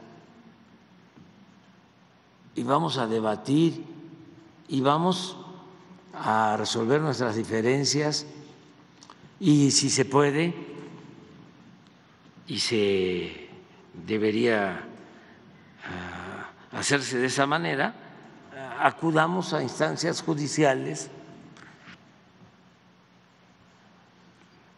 pero no actuemos eh, de manera vil. No son tiempos para canallas. Entonces, es todo. O sea, eh, afortunadamente ya vamos saliendo, vamos a seguir ayudando en, en Acapulco, en Coyuca de Benítez y en todo México, porque hay millones de damnificados por la política neoliberal, por la política de saqueo Presidente. Por la corrupción. Entonces tenemos que seguir adelante, eh, ayudando a quien lo necesita, impulsando las actividades económicas, creando empleos. Me eh, acaba de mandar una nota la secretaria de Relaciones Exteriores, Alicia Bárcena, urgente para informar al presidente. Buenos días. Me permito informar que Michelle Ravel avisó que ya salió de Gaza y va en camino al Cairo. Seguimos al pendiente con el embajador de México en Egipto. Es una de las compañeras que estaba. Sí.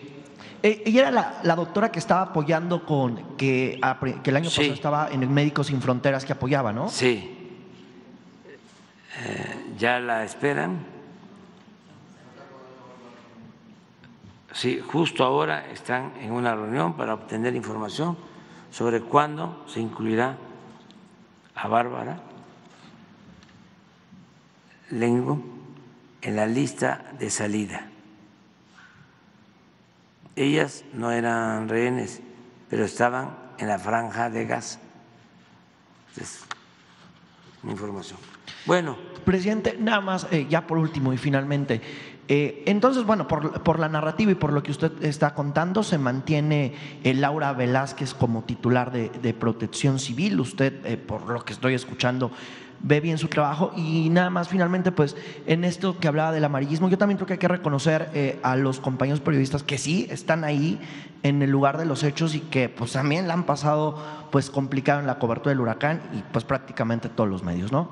Y que a veces también pues van y se los agarran eh, de piñata en redes sociales y que la verdad pues, son reporteros que ni la deben ni la temen y pues están ahí al pie del cañón y a veces creo que no, no estoy de acuerdo y se lo digo personalmente en que se los agarren de piñata en redes sociales por estar difundiendo pues información y noticias justo en el momento en el que sucede.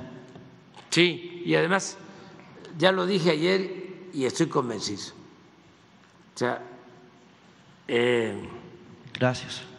la mayoría de los periodistas mm, venden su trabajo, no su conciencia. Y no está eh, en los periodistas sí, el problema, es arriba. Siempre nos malacostumbraron a echarle la culpa al de abajo, hasta en el caso del gobierno. No es el presidente, no es el gobernador, son sus colaboradores, son los de abajo que no le ayudan. Nada, mentira. Este es un sistema en lo económico y en lo político piramidal. Las decisiones se toman arriba, por lo general. Y es lo mismo en el caso de las empresas. En el caso de los medios, ¿por qué son los ataques a nosotros? Porque están enojados los de arriba. Nada más que para qué. Les cuento cuál es el motivo del enojo, porque ya no quiero que se haga más grande el escándalo. No es para que, porque este, si siguen, ¿no? Eh, con la lanzada en contra del gobierno, este, nos vayan a, a tumbar. No, no, no, no, no, no, no, ya cambiaron las cosas. Sino sencillamente es porque tiene que haber prudencia, tranquilidad, pero no es el que va a cubrir, no, lo mandan. Y Búscale. Búscale, búscale, búscale, búscale. Para este, demostrar de que este es un gobierno incapaz. Se atreven a decir un dueño de un medio de información famoso de que este, no solo hay incapacidad, sino corrupción. ¿Dónde está? Si hay corrupción, lo que hay que hacer es presentar una denuncia o dar las pruebas. Pero no, pura gritería y bajo la máxima del AMPA, ni quiero decir del periodismo de Lampa, de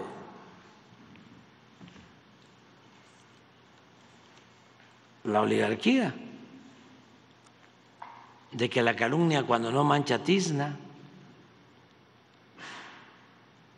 y cada vez gritan más, ¿no? insultan. Ya, serénense, miren eh, la actitud de la presidenta de la Suprema Corte de Justicia. Muy bien su respuesta. Claro que tenemos diferencias, pero por encima de nuestras diferencias tiene que prevalecer siempre el interés general, el interés del pueblo.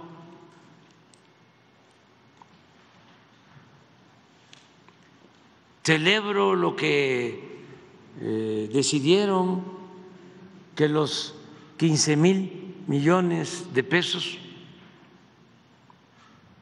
del fideicomiso del Poder Judicial se destinen para apoyar a los damnificados de Acapulco.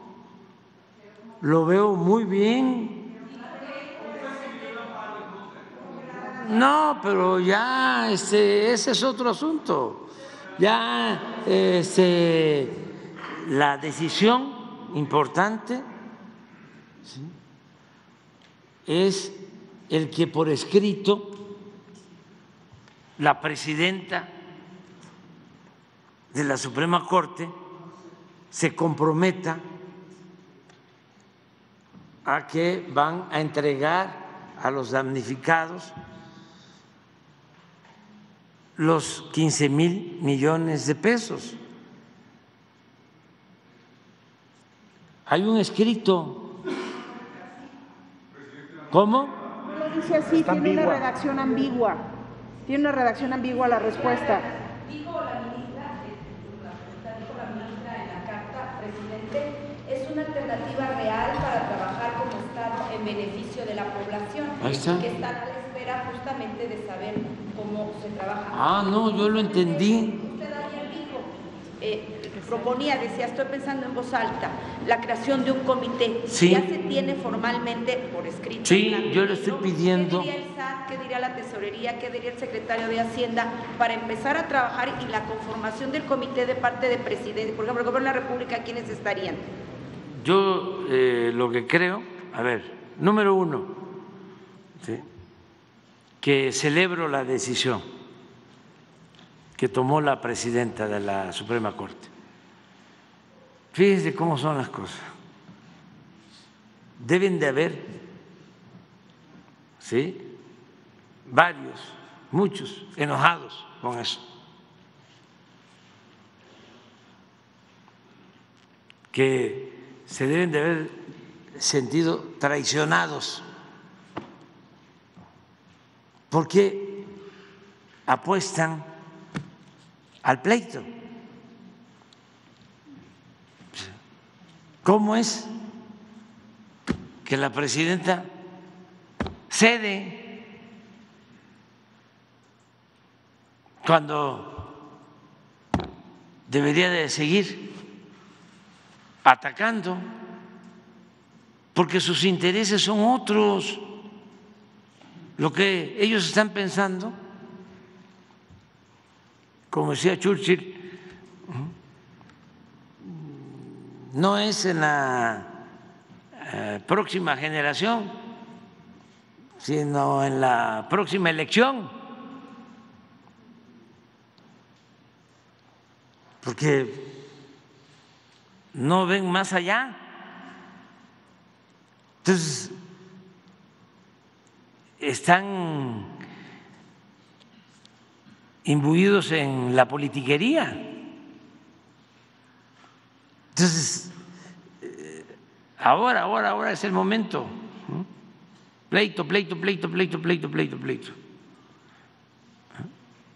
Eh, a la Suprema Corte, al Poder Judicial, no se le toca, no se le toca, no se le toca. No se- ya están todos, ¿no? Álvarez y Casa y este, eh, los del PAN y el, eh, Javier, sí, sí, sí, sí, sí, sí, sí, sí, sí, sí, sí, y este, eh, aspirantes a, a- cargos, eh, sí, sí, pero esto es un asunto distinto, tiene que ver una relación de- entre poderes. Es un asunto de Estado. Sí, de Estado. Entonces, este, por eso ya seguramente no les gustó, porque pues, ellos quieren. Es lo mismo de lo del huracán. Desde de antes, lo de la pandemia, ¿verdad? lo del huracán están ocultando información, son ineficientes, son muchísimo más los muertos, ¿sí? Este, hay abandono completo eh, en Acapulco, no se está atendiendo, con propósitos politiqueros. Entonces, en primer lugar, celebro que hayan tomado esa decisión en la Corte. Lo celebro, primero. Segundo, eh, si un juez presentó un amparo, no hay ningún problema, se va a resolver. ¿Y quién lo va a resolver? Pues el Poder Judicial con el Poder Legislativo, porque a nosotros no nos han devuelto nada, sea, todavía no ha llegado a la tesorería el dinero del fideicomiso porque todavía no se termina todo el proceso de aprobación de la ley de ingreso y de la ley de presupuesto. Entonces, esperemos, eso es lo segundo. Lo tercero, si eh, no van a aportar los 15 mil millones por cualquier motivo, nosotros tenemos los recursos para apoyar a los damnificados.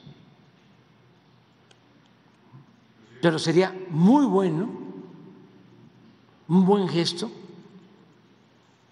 el que esos recursos se aplicaran para apoyar a la gente, al pueblo que lo necesita. Y lo otro, pues es una situación de coordinación que propuse ayer, que intervenga el Poder Legislativo que intervenga el Poder Judicial y va a intervenir el Poder Ejecutivo.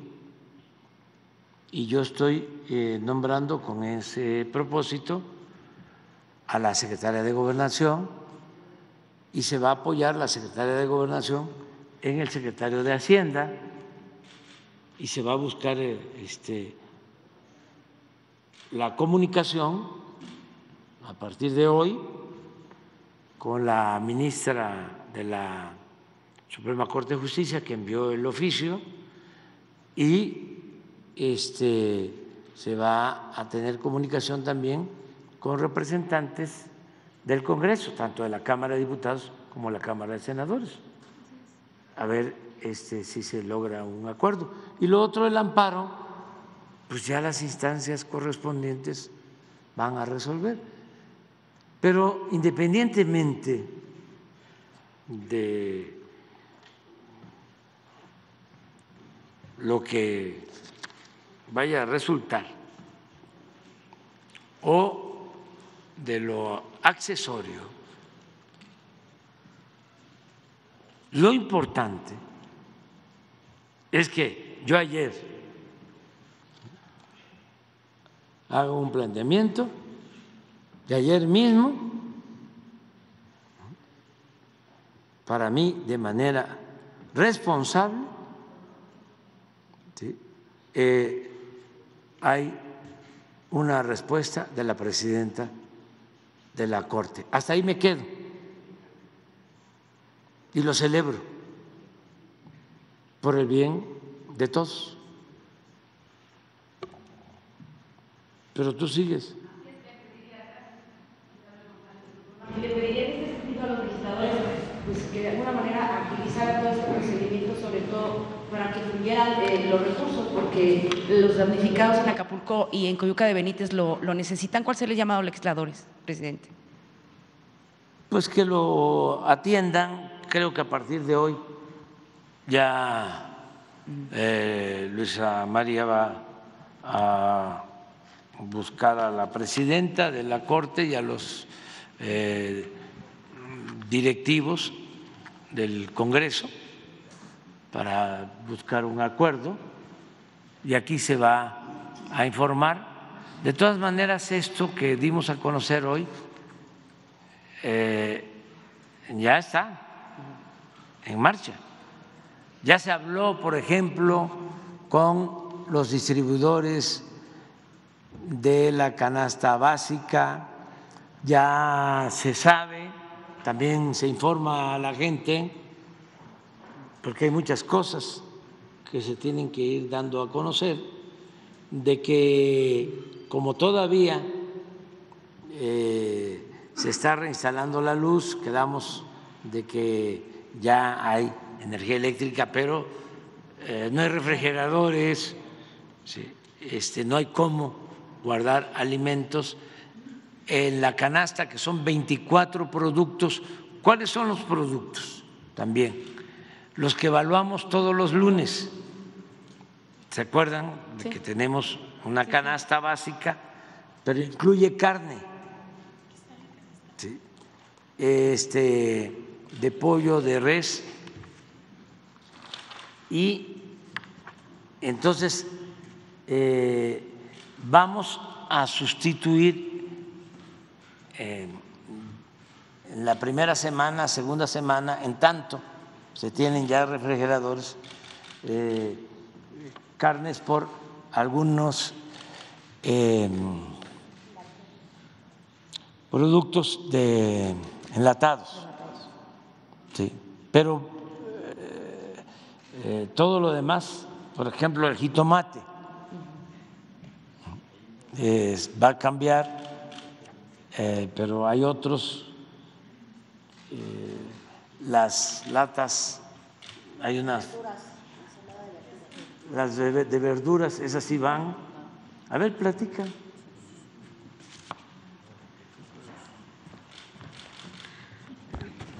Ya tuvimos, como dice el presidente, un par de reuniones y estamos trabajando con las tiendas comerciales para que nos ayuden a, hacer las canastas lo más rápido posible.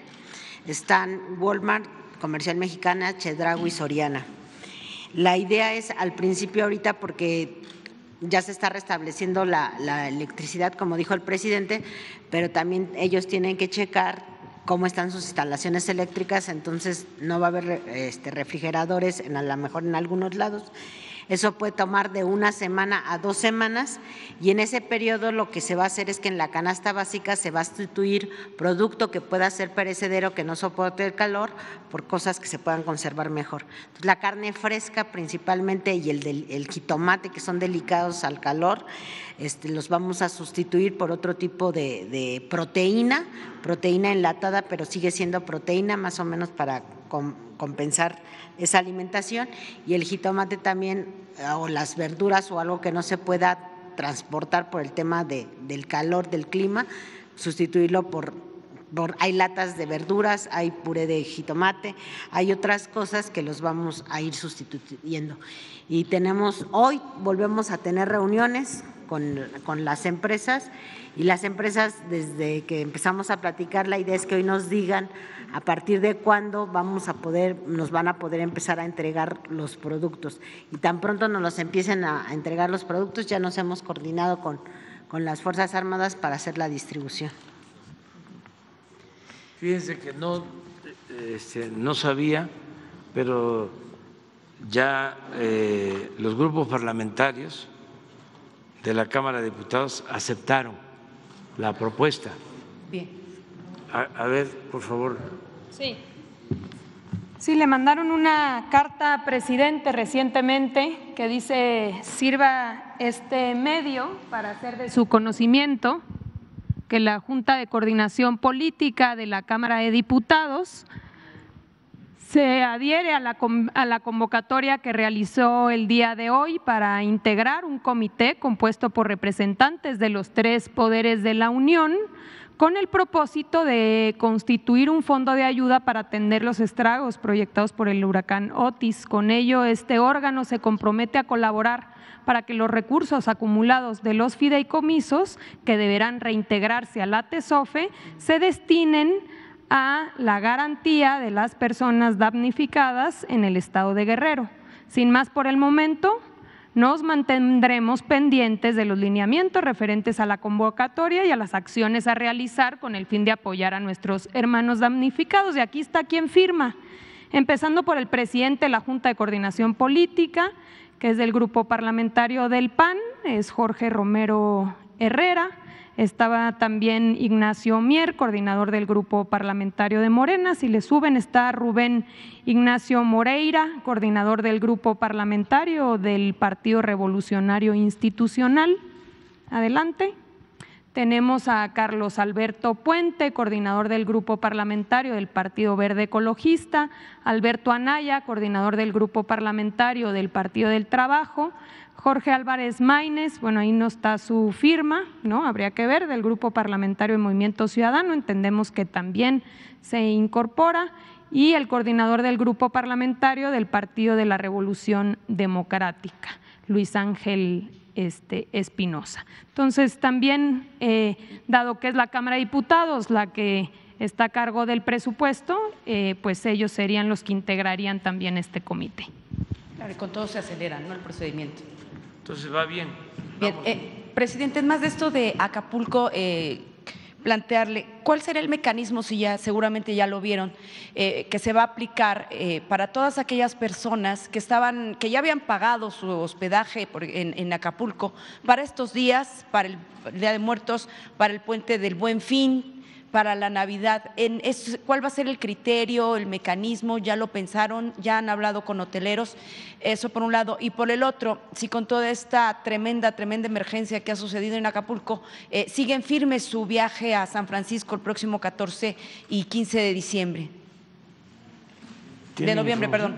Se trató, ya hubo una reunión, un acercamiento sobre cómo se les iba a apoyar a ellos y ya ellos yo creo que darán a conocer a quienes reservaron. Sí, los, lo que nos dice la gobernadora es que los hoteleros van a informar. ¿Perdón? Los hoteleros van a informar. ¿Se sabe más o menos para cuándo se informará? No sabemos, pero nosotros vamos a indagar ya para la próxima. Yo nosotros les informamos a ustedes y más del tema de, Acapulco en esta parte tan difícil de la pérdida de vidas humanas, ¿para cuándo estima eh, la gobernadora y las autoridades, sobre todo en el rescate de, embarcaciones hundidas, tener un número más aproximado de pérdida de vidas o de personas desaparecidas? ¿Qué es lo que ustedes están calculando? Vamos a estar informando eh, sobre esto eh, diario. O sea, se está informando la Fiscalía de, Guerrero y la gobernadora están en esto y constantemente se va a estar informando. Bueno, eh, presidente. El viernes nosotros vamos a informar porque eh, mañana no vamos a estar, pero el viernes sí. Ya comenzó el rescate de las embarcaciones, como lo había señalado el eh, secretario de Marina. El almirante, si usted ¿Qué, quiere. ¿Qué han encontrado, por favor? Sí, para informarles con respecto a las embarcaciones, desde el día jueves empezó a levantar un censo. Estamos empezando primero por las embarcaciones que prestan el servicio turístico. En el club de yates no nos podemos meter, meter es una cuestión privada Ahí vamos a hablar con ellos a ver si se les ofrece algo. Pero lo que estamos haciendo es sobre las áreas de prestadores de servicio de toda la bahía. Llevamos aproximadamente, hasta el día de ayer, hoy no, no he tenido la información, pero son aproximadamente entre 40 y 45 embarcaciones ya detectadas que sí sufrieron daños. No hay hasta ahorita, afortunadamente, pérdida de vidas humanas. Hoy también en la mañana nos vamos a pasar a Puerto Marqués, que también nos pidieron ahí el apoyo, pero se va a llevar unos días, ya estamos haciendo ese censo y día con día, como dice el señor presidente, les vamos a ir informando. Gracias. Le agradezco. Es lo, es, lo mismo, o sea, en, eh, es la búsqueda en general de todos. Entonces, eh, bien, cambiando de tema, presidente, este ya es un, un planteamiento. En días eh, recientes nos enteramos que la selección mexicana de béisbol pues, se ha hecho acreedora al Premio Nacional eh, del Deporte eh, 2023 y bueno, eh, le traigo un presente de la Casa del Béisbol. Sabemos que hoy se va a reunir con algunos integrantes de esta selección que ha tenido pues, muchos triunfos en, en el último año principalmente. Y bueno, es un obsequio, sabemos de, de su gusto por el béisbol. Eh, Imagen Televisión pues me encargó la misión de dárselo, de que ojalá le guste, es un jersey que utilizan los conductores, ¿se lo puedo entregar? Sí. Sí, con permiso.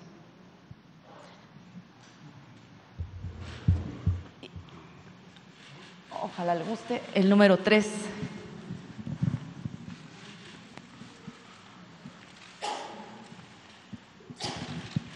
Dice AMLO. Y sabemos, queremos saber a quiénes va a recibir el día de hoy, presidente, aquí en Palacio Nacional.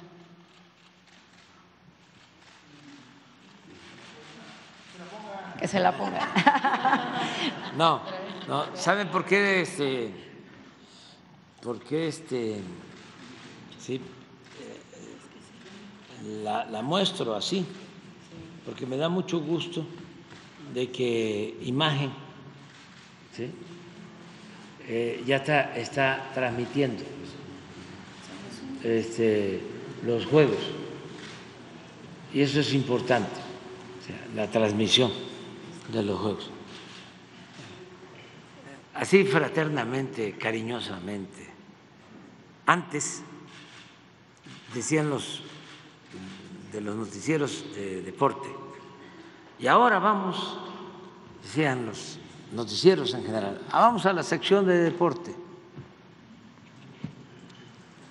con todo respeto, puro fútbol,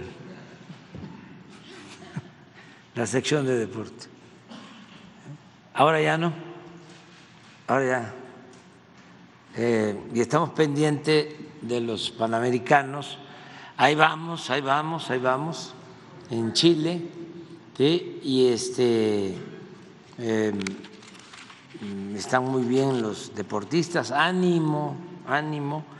Eh, y pues queremos que se siga impulsando a todos los deportes en el país, vamos a seguir eh, ayudando. Y en el caso de béisbol está muy bien eh, lo que está haciendo Imagen y eh, nos vamos a a seguir reuniendo. ¿Con quién, ¿A quién recibe al ratito? Sí, vamos a, a- a estar este, con algunos este, eh, beisbolistas. Creo que, eh, no sé si hoy o el viernes, no sé exactamente, pero este, pero, pero ya les informamos le vamos, les vamos a informar.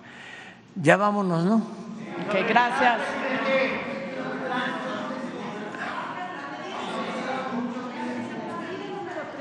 ¿Es temporal o permanente? ¿Cuál es? Es eh, la instalación de cuarteles de la Guardia Nacional en colonias de más de, de más de mil viviendas. Hasta este, lograr la normalidad completa, completa. Mande. ¿Cuántos cuarteles calculan? Eh, como, a ver, son como cinco mil elementos de la Guardia. Eh, Si están distribuidos, ¿Ya me dieron el, cinco mil. me dieron el reporte? Son 1.399 entre colonias, comunidades, pueblos, ampliaciones, unidades Sí. habitacionales, fraccionamientos. Pero ya es total, comunidades y colonias, 1.399. Sí, ¿y los cuarteles son aproximadamente? Estamos viendo eso. Sí, porque son para cada mil. Ujú. Eh, ¿van a ser bancar ¿Va a ser bancarizada o va a ser en Sí. efectivo dada la complejidad del, Eh, en del lo- tema? de los dos, de las dos formas, porque se está rehabilitando el Banco del Bienestar, las, sucursales, el Banco del Bienestar, ya con energía eléctrica, con este, sistemas de Internet y al mismo tiempo, eh, con el apoyo de la Guardia Nacional, pagos de manera directa. Todavía, eh, ¿por qué no este, eh, lo, de- lo del bono? ¿Tú podrías explicar? ¿Qué mejor que el subsecretario de Ingresos? Sí. No, con el permiso del presidente todavía se está determinando la- los parámetros del bono catastrófico. El bono catastrófico es un, es un monto de 460 millones de dólares. Incluye el evento que sucedió en, en el estado de Guerrero y también la zona geográfica.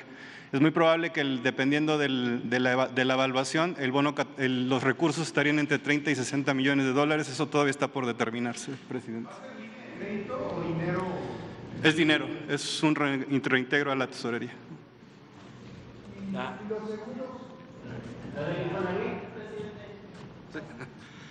Los seguros, actualmente tenemos un seguro de 5 mil millones de pesos eh, que pueden ser utilizados para reducir gastos asociados a la reconstrucción en, en Guerrero. De esta manera, durante el año podríamos eh, reembolsar hasta 5 mil millones de pesos con este seguro paramétrico. ¿no?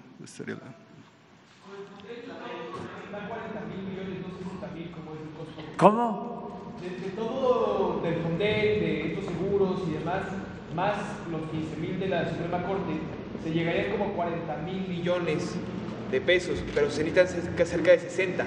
¿De dónde Sí, es que no hay límite. Este, es un estimado de más de 60 mil millones, pero si se requiere más, vamos a tener más. Eh, ¿Cuánto eh, tenemos en caja? A ver, pues explícalo. Digo, no es para presumir, ¿no? Sí, en la caja está más o menos un saldo líquido en efectivo en 600 mil millones eh, de pesos. Sería como- Pobremente. Bueno, vámonos a desayunar. Dios.